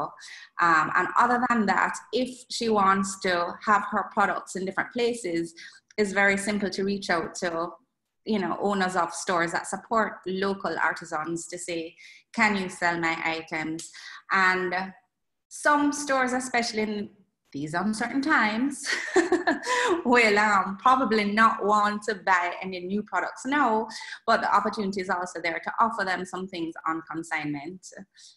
It's better to have the visibility than not. Absolutely, absolutely, absolutely, absolutely. Um, Donovan, any, any, any, any um, for that? Well, um, so I, I, think what Kerry has said, you know, basically the challenge that a number of, of um, small businesses, businesses locally face is uh, they, they, is to get the support to be able to build a website, to do it properly, and then ultimately to do the back end work, which is to deliver the goods. Um, you know, it, it, okay, so you, you, you get your pictures done, you get out on Instagram, you put it out, you get 2,000 likes, and then somebody sends you an order from Miami, and they want one cup, and they want one t-shirt, and suddenly, how do I get this one cup or this one t-shirt to this customer? I'm selling it for $25. The, the, the post office is going to charge me $15. So it, that changes the whole pricing. FedEx is going to charge me 40. And the next thing I know, it ends up in customs in Miami and doesn't get to the customer. And I've already collected the customer's money. So then they go back on their PayPal and they get a refund. And so now they have the money and your cup is in Miami in customs and you're all stuck. so it, it's not, it's, it's, I'm, I'm not being negative. I'm just saying that um, there's a challenge there that we have to see through. Yes, presenting it, having a website, making sure that your market can see your goods, fantastic. I agree with Kerry 100%. Take this time now, kind of more downtime to do that work and make sure you, you are building your online platform. Moving forward, there are going to be less people coming into your stores. There are going to be less people willing to come and try on clothes. People are squeamish now, they're sanitizing their hand. I mean, the notion of somebody coming in, taking off the whole of their clothes and putting on your clothes to try on for the next couple of months, probably years, is going to be a turnout. So now we have to take the market to the customer. We have to get in their living room, in their space, on their cell phone. Yeah. We have to be able to collect our money and deliver the goods. So we have to do that work. Where the banks now are getting all, all innovative, um, speaking of the term, but Scotiabank, are, they, they, they have, um, well, let me not advertise anymore, but the banks are doing, are, are getting innovative. And they're trying to create a platform so that local people can get paid in Jamaican dollars if people overseas buy, we can collect our money. Uh, now we need help uh, from a JBDC, from the state. How do we get our goods into the marketplace? It's much easier to buy a T-shirt in Miami and collect it here. Mailpac brings it in, you, you get it, a charge of $500. It's harder for us to sell a T-shirt to Miami. And, and we have to we have to tackle that we have to tackle that. And if you just permit me a little bit more, um, you know, Ayanna, Ayanna has just displayed what our fashion industry has to, our industry has to offer. You know, the, the passion and creativity and is fantastic, and there are many, many Ayannas in Jamaica. We need to be able to pull that together into an industry. And an industry requires institutional support, which is what JBDC is giving, and this is fantastic. This forum is fantastic, and a lot of the work is fantastic. Then it requires technical support uh, to ensure that we do better and better at our quality, and it requires marketing support. And small businesses can't do it by themselves. You know, Kerry does a fantastic job. She does the motor show, and she pulls in a lot of people, and that's fantastic. We need a hundred, and you know, more and we need to we need to convert this thing to an industry and, and really begin to turn out the kinds of the kind of work in the quantity um, that Ayanna is displaying that many other people are displaying. You yourself and Laura will know understand when I say I, I missed the cluster, you know. The cluster the cluster we, we did good work. Ayanna was a baby at the cluster days, but um, And, and now we are, now we, some people will say, well, you know, that's history, but it's not history. We're seeing the people in the local market emerging, and we know, you know, some of the history and all that. And, and it's fantastic. Yeah, I, am going off on my passion again. okay. Robert. Um, all right, so let me hear from Laura and then Ayanna. All right. So I just wanted to um just some things that came out of the presentations before.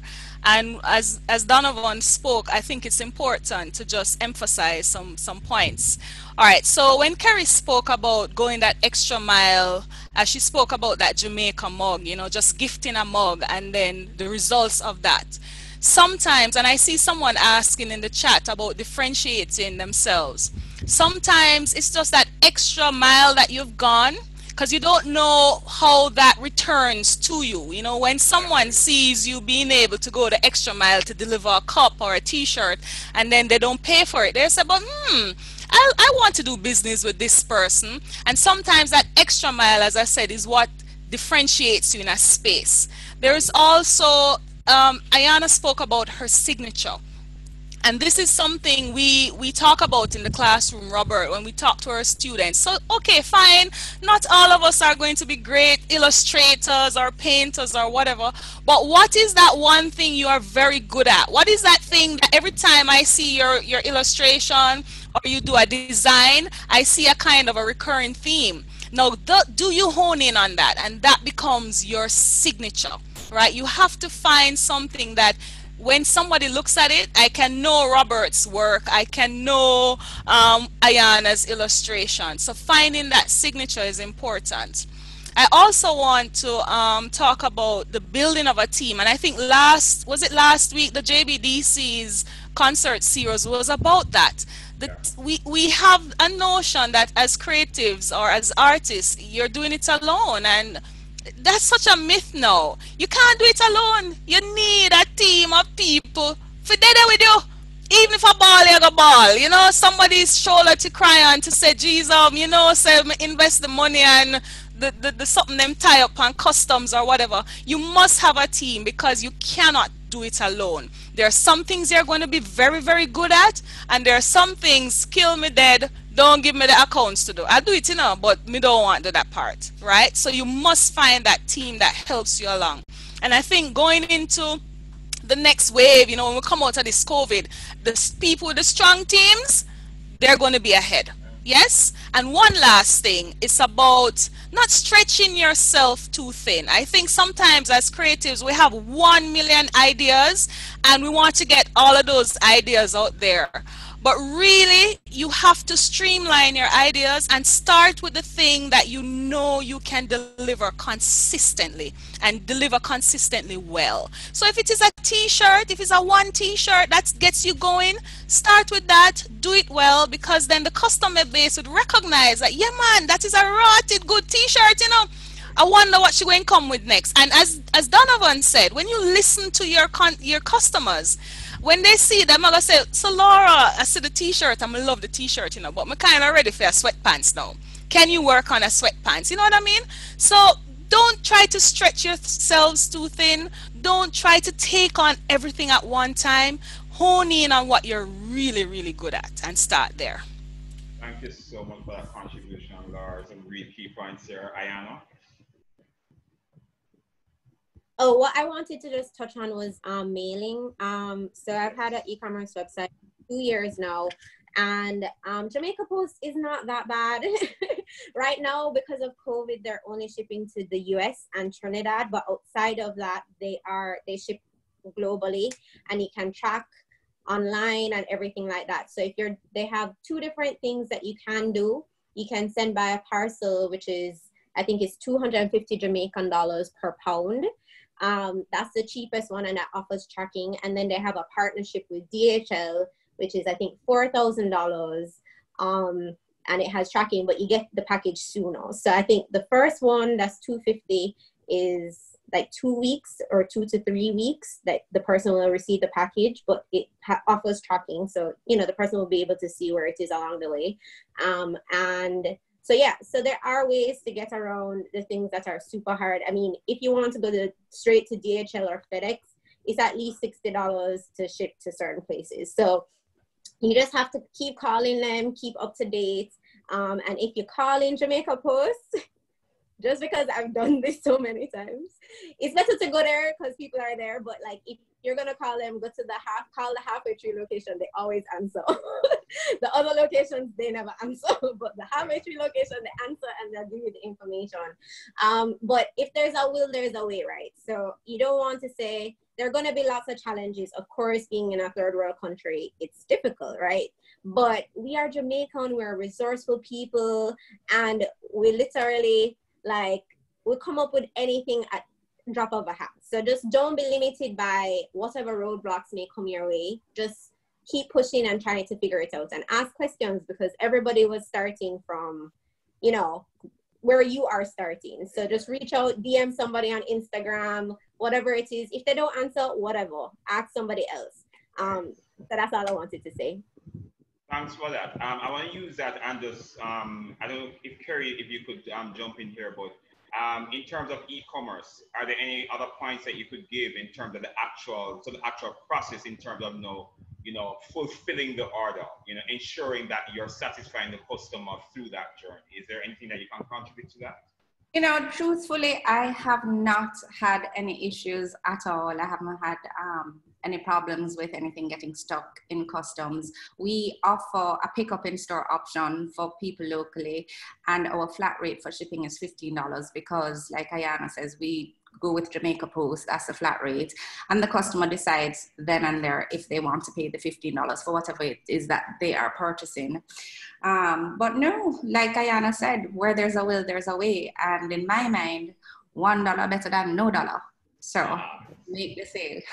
Definitely. Robert, yeah, if you allow me, um, yeah, that, um, the experience Kerry us gave, it's, it's, it's mine too on the on the retail side gets a little bit more complicated when you when you get a wholesale order. Okay. you have a you have a box that maybe uh-huh. um, let's just say when you add it all up, you have 900 US dollar worth of goods in it. Um, now suddenly you're in a different different ball game. Yeah, in a different ball game, and it does require um, some paperwork. I mean, we have I you know I I I do a lot of it on behalf of our company, and it's it's doable, tedious, um, but doable. But people have to formalize. You have to. It's it's a part of the work that we have to do. Um, first of all, you have to register, and and so a lot of the informality, a lot of the informality that pervades the industry um, it, becomes an impediment if you want to grow. Um, you know, you can't you can't legally export if you don't have a registered business and a TCC and a and a, and a, and a, a TRN and, and so on, right? Um, so people have to have to be willing to embrace that and understand that, um, because if not, then it's an obstacle. And, and then you have to do the paperwork and you have to be able to do the business side, cost it in. You may need a broker. You may not if you can do it yourself. But every step, every, everybody that you employ adds to your cost. So you're not selling a $20 um, item anymore. You might be selling a $30 item, you know, and, and if you do it properly. Um, so the, the, challenge really, and I'm speaking again of the wholesale, is that especially in the North American market, especially USA, Canada, um, when you do sell, nobody nobody's interested in getting shipping documents from a broker or whatever. They want a box delivered into their stores, into the store. Whether you carry it on a plane yourself, or you send it by FedEx, or you ship, that's your business. Whatever, that cost you, that's your business. They want a price, they want it delivered we have to figure out how to do that, and we collectively have to figure out how to do that. And, and it, it does have challenges, you know. It does have challenges. Thank you so much for that. Um, just on another note, um, just kind of going back a bit, we spoke about photography and just the importance of photography to, you know, know that, you know, we're pushing the whole thing up online and the necessity to, you know, engage that space in terms of interacting with the customer. Um, photography, how do we tackle that? Um, anybody, you know, what's what's the process? What's the best way to get it done? I know Ayanna spoke about probably collaborating with some people, and you know, it can be expensive, and so. You know, I sorry. okay, you go. I think no um, is a good time. Um, I think everybody is. Uh, you know, struggling to stay afloat. And I think it's an opportune time to reach out to photographers and say, can we do a collaboration? Because I'm pretty sure now we have negotiating power. So where it may have costed X before, I think now is the time to negotiate with anybody and anything, if you're a landlord for rent, with your bank for moratoriums, whatever it is, I think it's a good time to just reach out. I mean, there are so many photographers. For at Edna alone, look at how many students are doing photography there. I'm pretty sure they jump at the opportunity. So if it is that you have zero budget, Edna is a good place to start. I mean, I send emails to Laura all the time to say, Laura, I need a graphic artist who is willing to get experience and be paid. Um, you know, less than what if you're going to a marketing company, for example. So photographers are you find them online easily. And if that is not an option, go to Edna Manley because they offer courses and there are students who would be willing, A, to get the experience and the exposure and to get something. Thank you. Okay, well, so what I would say, I mean, of course, I agree with everything Kerry said. I mean, you know, there's, as I said, you need a toolkit, right? So if you can do the photography thing, then fine. But what I do, I mean, sometimes I partner with a photographer, for, but for example, when let's say I had the masks and I said to myself, okay, well, I don't need to do a big shoot, right? I just need to have a good phone. So I have an iPhone and I feel like Samsungs are good too, Androids are good too, but like I find that this, the iPhone quality is just so much better. And you just have to make sure that there's right lighting. So literally I've bought a whole, I wish I could show you. I have like a, a whole thing over here of cartridge paper, different colors, have different color backgrounds. And I literally put the cartridge paper outside on the veranda when it's nice and sunny. this is my, this is my studio, right? And I just set it up and I put my put my mask down or I put my notebook down and I stand over it, try to make sure there's no shadows, and I take the picture and then I just crop it, you know, like using the app or whatever it is, and I zoom in closely. And of course, you can do it. I mean, if I had a model, it might be a little bit more challenging, right? But you can you can try and figure it out yourself. You know, all you have to do is have a good camera you know you need proper lighting i've actually i think i don't know if nikon is still doing it but if you are interested i know nikon was doing a free course teaching everybody how to use nikon cameras in april for the whole month like I literally did that course just so I could know, okay, well, I don't have no fancy camera. I just have an iPhone, right?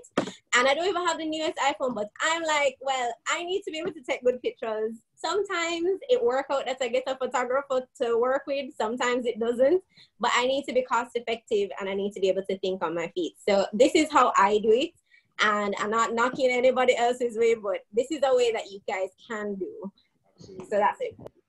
Well, as you said, you know, as we've been saying since morning, as Kerry said earlier, keep it positive and begin to look where there's a will, there's a way. Definitely, for sure. Um, there was a question that I saw earlier um, that came in. Um, you know, it's a fashion conversation, and they were asking about, you know, what were the trends that were in, what were the key things to be looking at or to be paying attention to, even in terms of product direction for fashion. I mean, I know that things are a little bit different now in terms of fashion and trends and that kind of thing.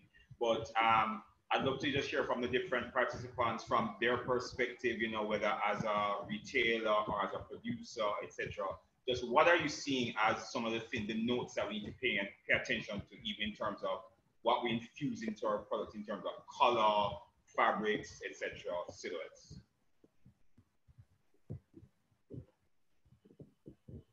Any takers? Laura, you want to start? I'll go. I'll. I'll you know, okay. All right. Oopsie. Lord. Okay. Um, I would just. I'm not gonna go into like what trends to follow. I'm not very trendy in my designs. I kind of just go with what I feel for. But I think um, what is very important is just assessing what people are doing. So clearly, everybody was doing masks because we all need masks, right? This is now the new way. You can't go outside without a mask. Everybody needs a mask. So it's maybe not necessarily reinventing the wheel, but reinventing the mask. Okay, how many different styles? People are gonna want different styles. Yes, they bought three masks from me last time, but eventually they're gonna be like, mm, this don't go with my outfits, etc., etc. Right. How can I reinvent that? Um, also, if people are staying at home, um, depending on if you're in Jamaica or elsewhere, if people are staying at home more, what are they doing more of? I've been noticing everybody turn chef, everybody turn baker, everybody's in the kitchen. Okay, well, what do they need to be in the kitchen? Like, they might need aprons, they might need, you know, like, think about what people are doing now with all the time they have on their hands and say, okay, well, what can I do to support that? So that's all I would have to say. Brand extension. Thank you so much. Yes, Kerry. Oh, okay. I was just saying, um, Diana brand extension. She's so right. It's so funny that you asked that question because I don't know about Laura, Ayan, and Donovan, but I haven't even been paying attention to trends. the only thing I know is that the fashion fashion weeks have been cancelled. I know that big um, designers and big fashion houses have decided they're skipping the whole resort collection and going to focus on fall because they have all these collections to sell. So I personally haven't even been paying attention to trends as it relates to colors and fabrics. But what Ayanna said, I think is the, is the right way forward. Look at to see what people are doing and um, formulate some brand extensions. Robert, yeah, I just I found it funny when you asked that question because in trying to prep for this session, I actually did go on to see what were they forecasting for 2020, you know, 20, and then some of the things were oversized hats, bamboo bags, shell jewelry, embellished belts. But then I'm saying we ain't going anywhere. So where the hell am I going to be wearing this broad hat anyway? You know, and you know, yeah. I know, right? Truth be told, though, um, I don't think Jamaica. When I look at our landscape, we've all we've been so much of you know we follow the trends to the T. We've set trends, however, and some people are definitely guided by it.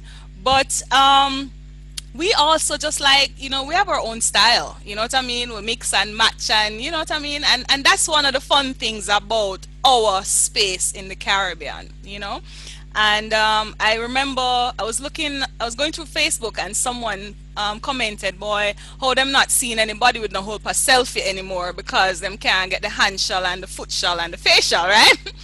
but I'm telling you, people are decking out. So I'm still, I'm seeing people like Colleen Douglas, call, calling out Colleen Douglas, who every now and then she does a post, dresses up, she's out there on the beach because she lives on the seafront and she is you know just channeling that kind of you know the fashionista self and i think we'll be seeing more of that. And so some new trends are going to pop out because people are at home and they're, they're pulling out the sewing machines and they're looking at the closet looking at the things that they're tired of and going cut up and repurpose and you know. So it should be interesting when we all get back outside. Indeed indeed indeed. You said a key point there repurpose as well as I also saw somewhere else where you know the whole issue of self-care. So self-care. So one of the one of, one of the areas to look at, even in terms of you know um, brand extensions, as Kerry had highlighted, was the issue or is the issue of self-care. So instead of think about think about self-care as an, a catalyst for product that you'd actually be doing at this particular point in time. Donovan, you have any contributions?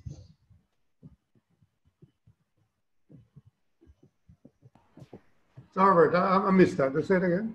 Oh, we were talking about trends in terms of just trend and product direction. Um, you know, um, just from where you sit, you know, what do you see as, you know, you know, where is it that you know we as designers need to be looking in terms of the next move, the next step in terms of product color, style, silhouette, etc. Well, you know, like like other guys, we we're not really on the on the front end of the trend line but but I think COVID has has completely dumped all of the trend forecasts overboard, and and now we're looking, you know, a whole new um, world, as it were. I mean, now we're looking, you know, I, I would think for the foreseeable future, every outfit has to have a matching mask, for example. Just just just as a as a you know a, a little aside, and people will be thinking more in terms of of just literally covering up, just just having a little bit more, not necessarily, you know, hooded garments, but at the same time, a little more conservative thinking. Maybe do I want to be so exposed? Um, you go to a party and somebody sneeze and everybody might leave. So I, I think there are going to be elements in here that um, maybe we just have to broaden our minds uh, and, and say, well, when we get into post-COVID, where exactly are we going? Right. Our thing is resort wear, and, and and we're just hoping that we have an industry, and you know, when when this is all done. Yeah. Thanks for that. So, I mean, even so, the key word I'm getting from you there is protection. So, again, for the designers out there, that could be a catalyst for us for you move things forward at this point. Uh, Sansa, are there any additional questions?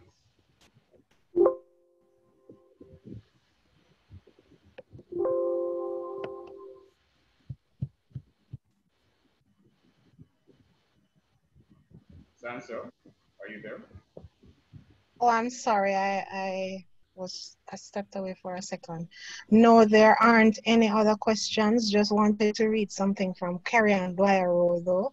Yes. She is letting persons know that she runs a freight forwarding company, yes, Tahila Jamaica Limited, located at 33 Industrial Kingston 5, I think it is.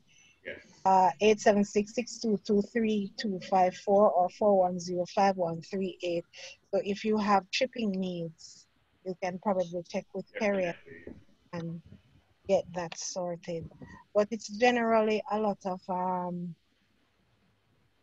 a lot of um, kudos to the presenters. Ayana Kevar Telfa is asking, where's the course that you mentioned? I guess it's the Illustrator course that you mentioned. um illustration course I mentioned. Well, um, I think I don't know if I mentioned the illustration course. I mean, I did when I so when I initially started, I did a fashion course at Edna Manley, which they have several. They have a degree and they also have like a extracurricular activity course, which is what I did, and that's where I met Robert. Um, and then I actually teach fashion illustration Right. myself. So you guys can follow my Instagram page, which is by.asd by ASD. Um, and I actually have been doing some live. So last week I did a, a live illustration, and the people who are a part of the live just helped me like, come up helped me come up with like the concept and then I gave away the illustration. So once you follow the page, um, there'll be lots of whether it's a course or like a one-on-one session or something like that. But also for you guys in using your Instagram platforms to do things like that. I mean, you can have an IGTV, you can have a live, and you make it more interactive. People will come back and people will say, "Oh, well, you know, th- she always does this or he always does this every week on Wednesday," and it brings brand visibility because people will come back. You know, the young lady who won the the illustration, she was so excited. I was like, "Wow!" she was she was on the live and she helped. She, I think she told me to put like move some colors around or whatever, and she was very excited. I feel like I have a loyal customer now, and she actually has never bought anything from me, but she's always wanted something. So this is how use the time wisely in you know interacting with people, with the clients, prospective clients, um, and use what you have. Free things like Instagram, Facebook has a live function too. Like just have a business page, set it up, call everybody and say, hey, like my page, all your family, all your friends. It's okay to beg a follow. It's all right. no, listen, the goal is to have people who follow you and support you. And I'm sure your family and friends are willing to do that. So if you don't ask, you won't get. So just ask and you shall receive, guys. Yeah, I want to just come in a little bit, Robert, if you if I may. And I'm going to shamelessly put a plug for the Edna College right now. So I see people asking about illustration courses. I see something about um, photography. Um, feel free to go on the Edna College website or to call in to get some more information. We do have um, evening classes um, that are run. Possibly summer coming on. And well, summer might be a little off because of yeah the shutdown. Yeah, but Yeah. um, definitely going into the the next academic year, um, people can get information on that. And I'm I'm really hoping that we can get things back up and running as soon as it's safe to do so. So yeah, just wanted to put that plug, Robert. Awesome. Yeah, man. Thank you so much. Um, all right, I think we're at the end of our time. I want to thank everybody for participating. And just the last thing, I just want um, 30 seconds each each panelist. Just what are your wrap-up words? What's your final charge? And I'll Hey, Robert, with- Robert, Robert, before you do that, um, oh yeah, this, there, there, there you go. That's me. um, before you do that, um, I wanted to share with the participants two things. One is that um, uh, we did share the results of the poll. I know, I know when you take a poll, you want to see the results of it. Um, so um, you can check that out.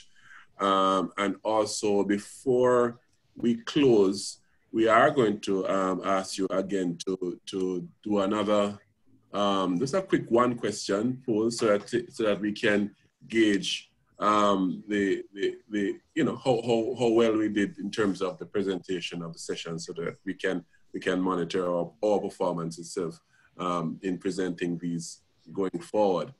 Also, I wanted to share with the participants that you know that we were doing a general mapping of the creative and cultural industries, JBDC right, yeah. had undertaken, has, has undertaken a mapping of the creative and cultural industries in Jamaica um, in partnership with the British Council. And we had a survey instrument um, which we launched earlier, and we, and, and we were encouraging, and we continued. We had really gone all out and encouraged persons to complete the survey, um, and we got some very very good results. I want to share with the group though, since we're talking to our fashion um, family, that um, the fashion response has been has been um, um, not as not not as good as other areas. so um, I, I want to. So so that said, I want to tell you that we had made we have made a decision to to keep the poll open, to keep the survey open. Um, David, if you can type the the uh, the the link in the chat. Um, so so we have made a decision to keep the survey open. So while we're talking to our fashion family, encourage you to, if you have not done so yet, um, complete that survey about the creative, creative and cultural industries that will provide us with critical, critical data to move the industry forward, as, as Donovan was, was, was suggesting earlier. I want to encourage you to do so at, um, at, at, at, as soon as we're done, if you haven't already done so. All right, so thanks. Robert, that's all. You can go back. Continue. All right, yeah, man. Thank you so much. So um, David will, will, will provide us with the URL. And so you click on the link and just fill in the answers quickly. And it's not going to take a very long time. Um, so yes, I was wrapping up. Um, we thank you so much for your participation and just final words, 30 seconds from each presenter. I'm gonna start with uh, Donovan.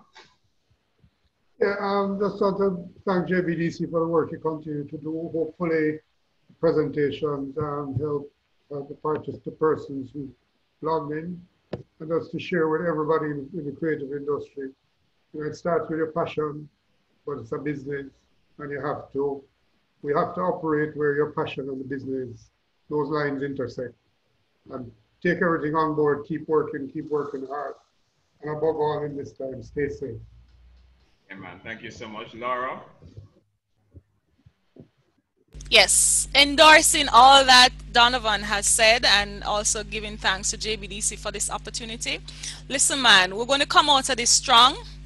Um, I'm looking forward to seeing some exciting things happening, you know, some new exciting things that, you know, hey, we have to think, of, we have to keep that positive mindset as Kerry stated earlier.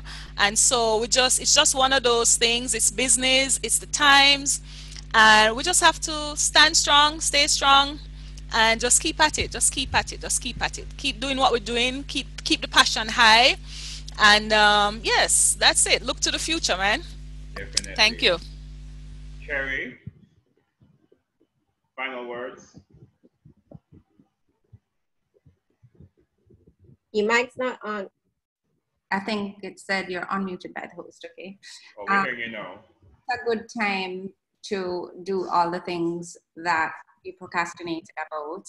Um, and it could be something as learning a language, just something to make you feel good, as opposed to, I know that we can just feel down and just Netflix and chill for the whole time. But you know, doing things that we always plan to do that we never ever had time to do before, now is a good time to delve into doing those things. You know, make a list, get it done. And for small business owners, just start to think creatively and try to figure out different means in making your business work for you in order to stay afloat. Thank you so much, Ayanna. Um, well, just to believe in yourself, do the research. Um, being in this industry, as Laura had said initially, is not just all glamour. It's a lot of hard work. So um, yeah, just do the work. Um, and I say, I mean, as Kerry had just said, you know, it's important to kind of stimulate yourself, even if it's not through doing your actual work. Um, you know, whatever, maybe you wanted to, I don't know, paint the garden fence or something like that. Like, you know, just or learn photography. Like, do things to inspire yourself. Um, I will just say, like, I recently read this book called Big Magic, and it was amazing in terms of creativity and just talking about harnessing your creativity and how to think about your creativity. And I recommend it highly. So if you're interested, um, you can get it audible, you can just buy the actual book, but it's awesome. So just stay positive, stay safe, and keep working hard. Hey, hey Robert, um, yes. so again, um, just as you wrap up, can you remind um, the participants about JBDC's guide for mask making and how they can uh, and how they can um, uh, how they can get access to that information?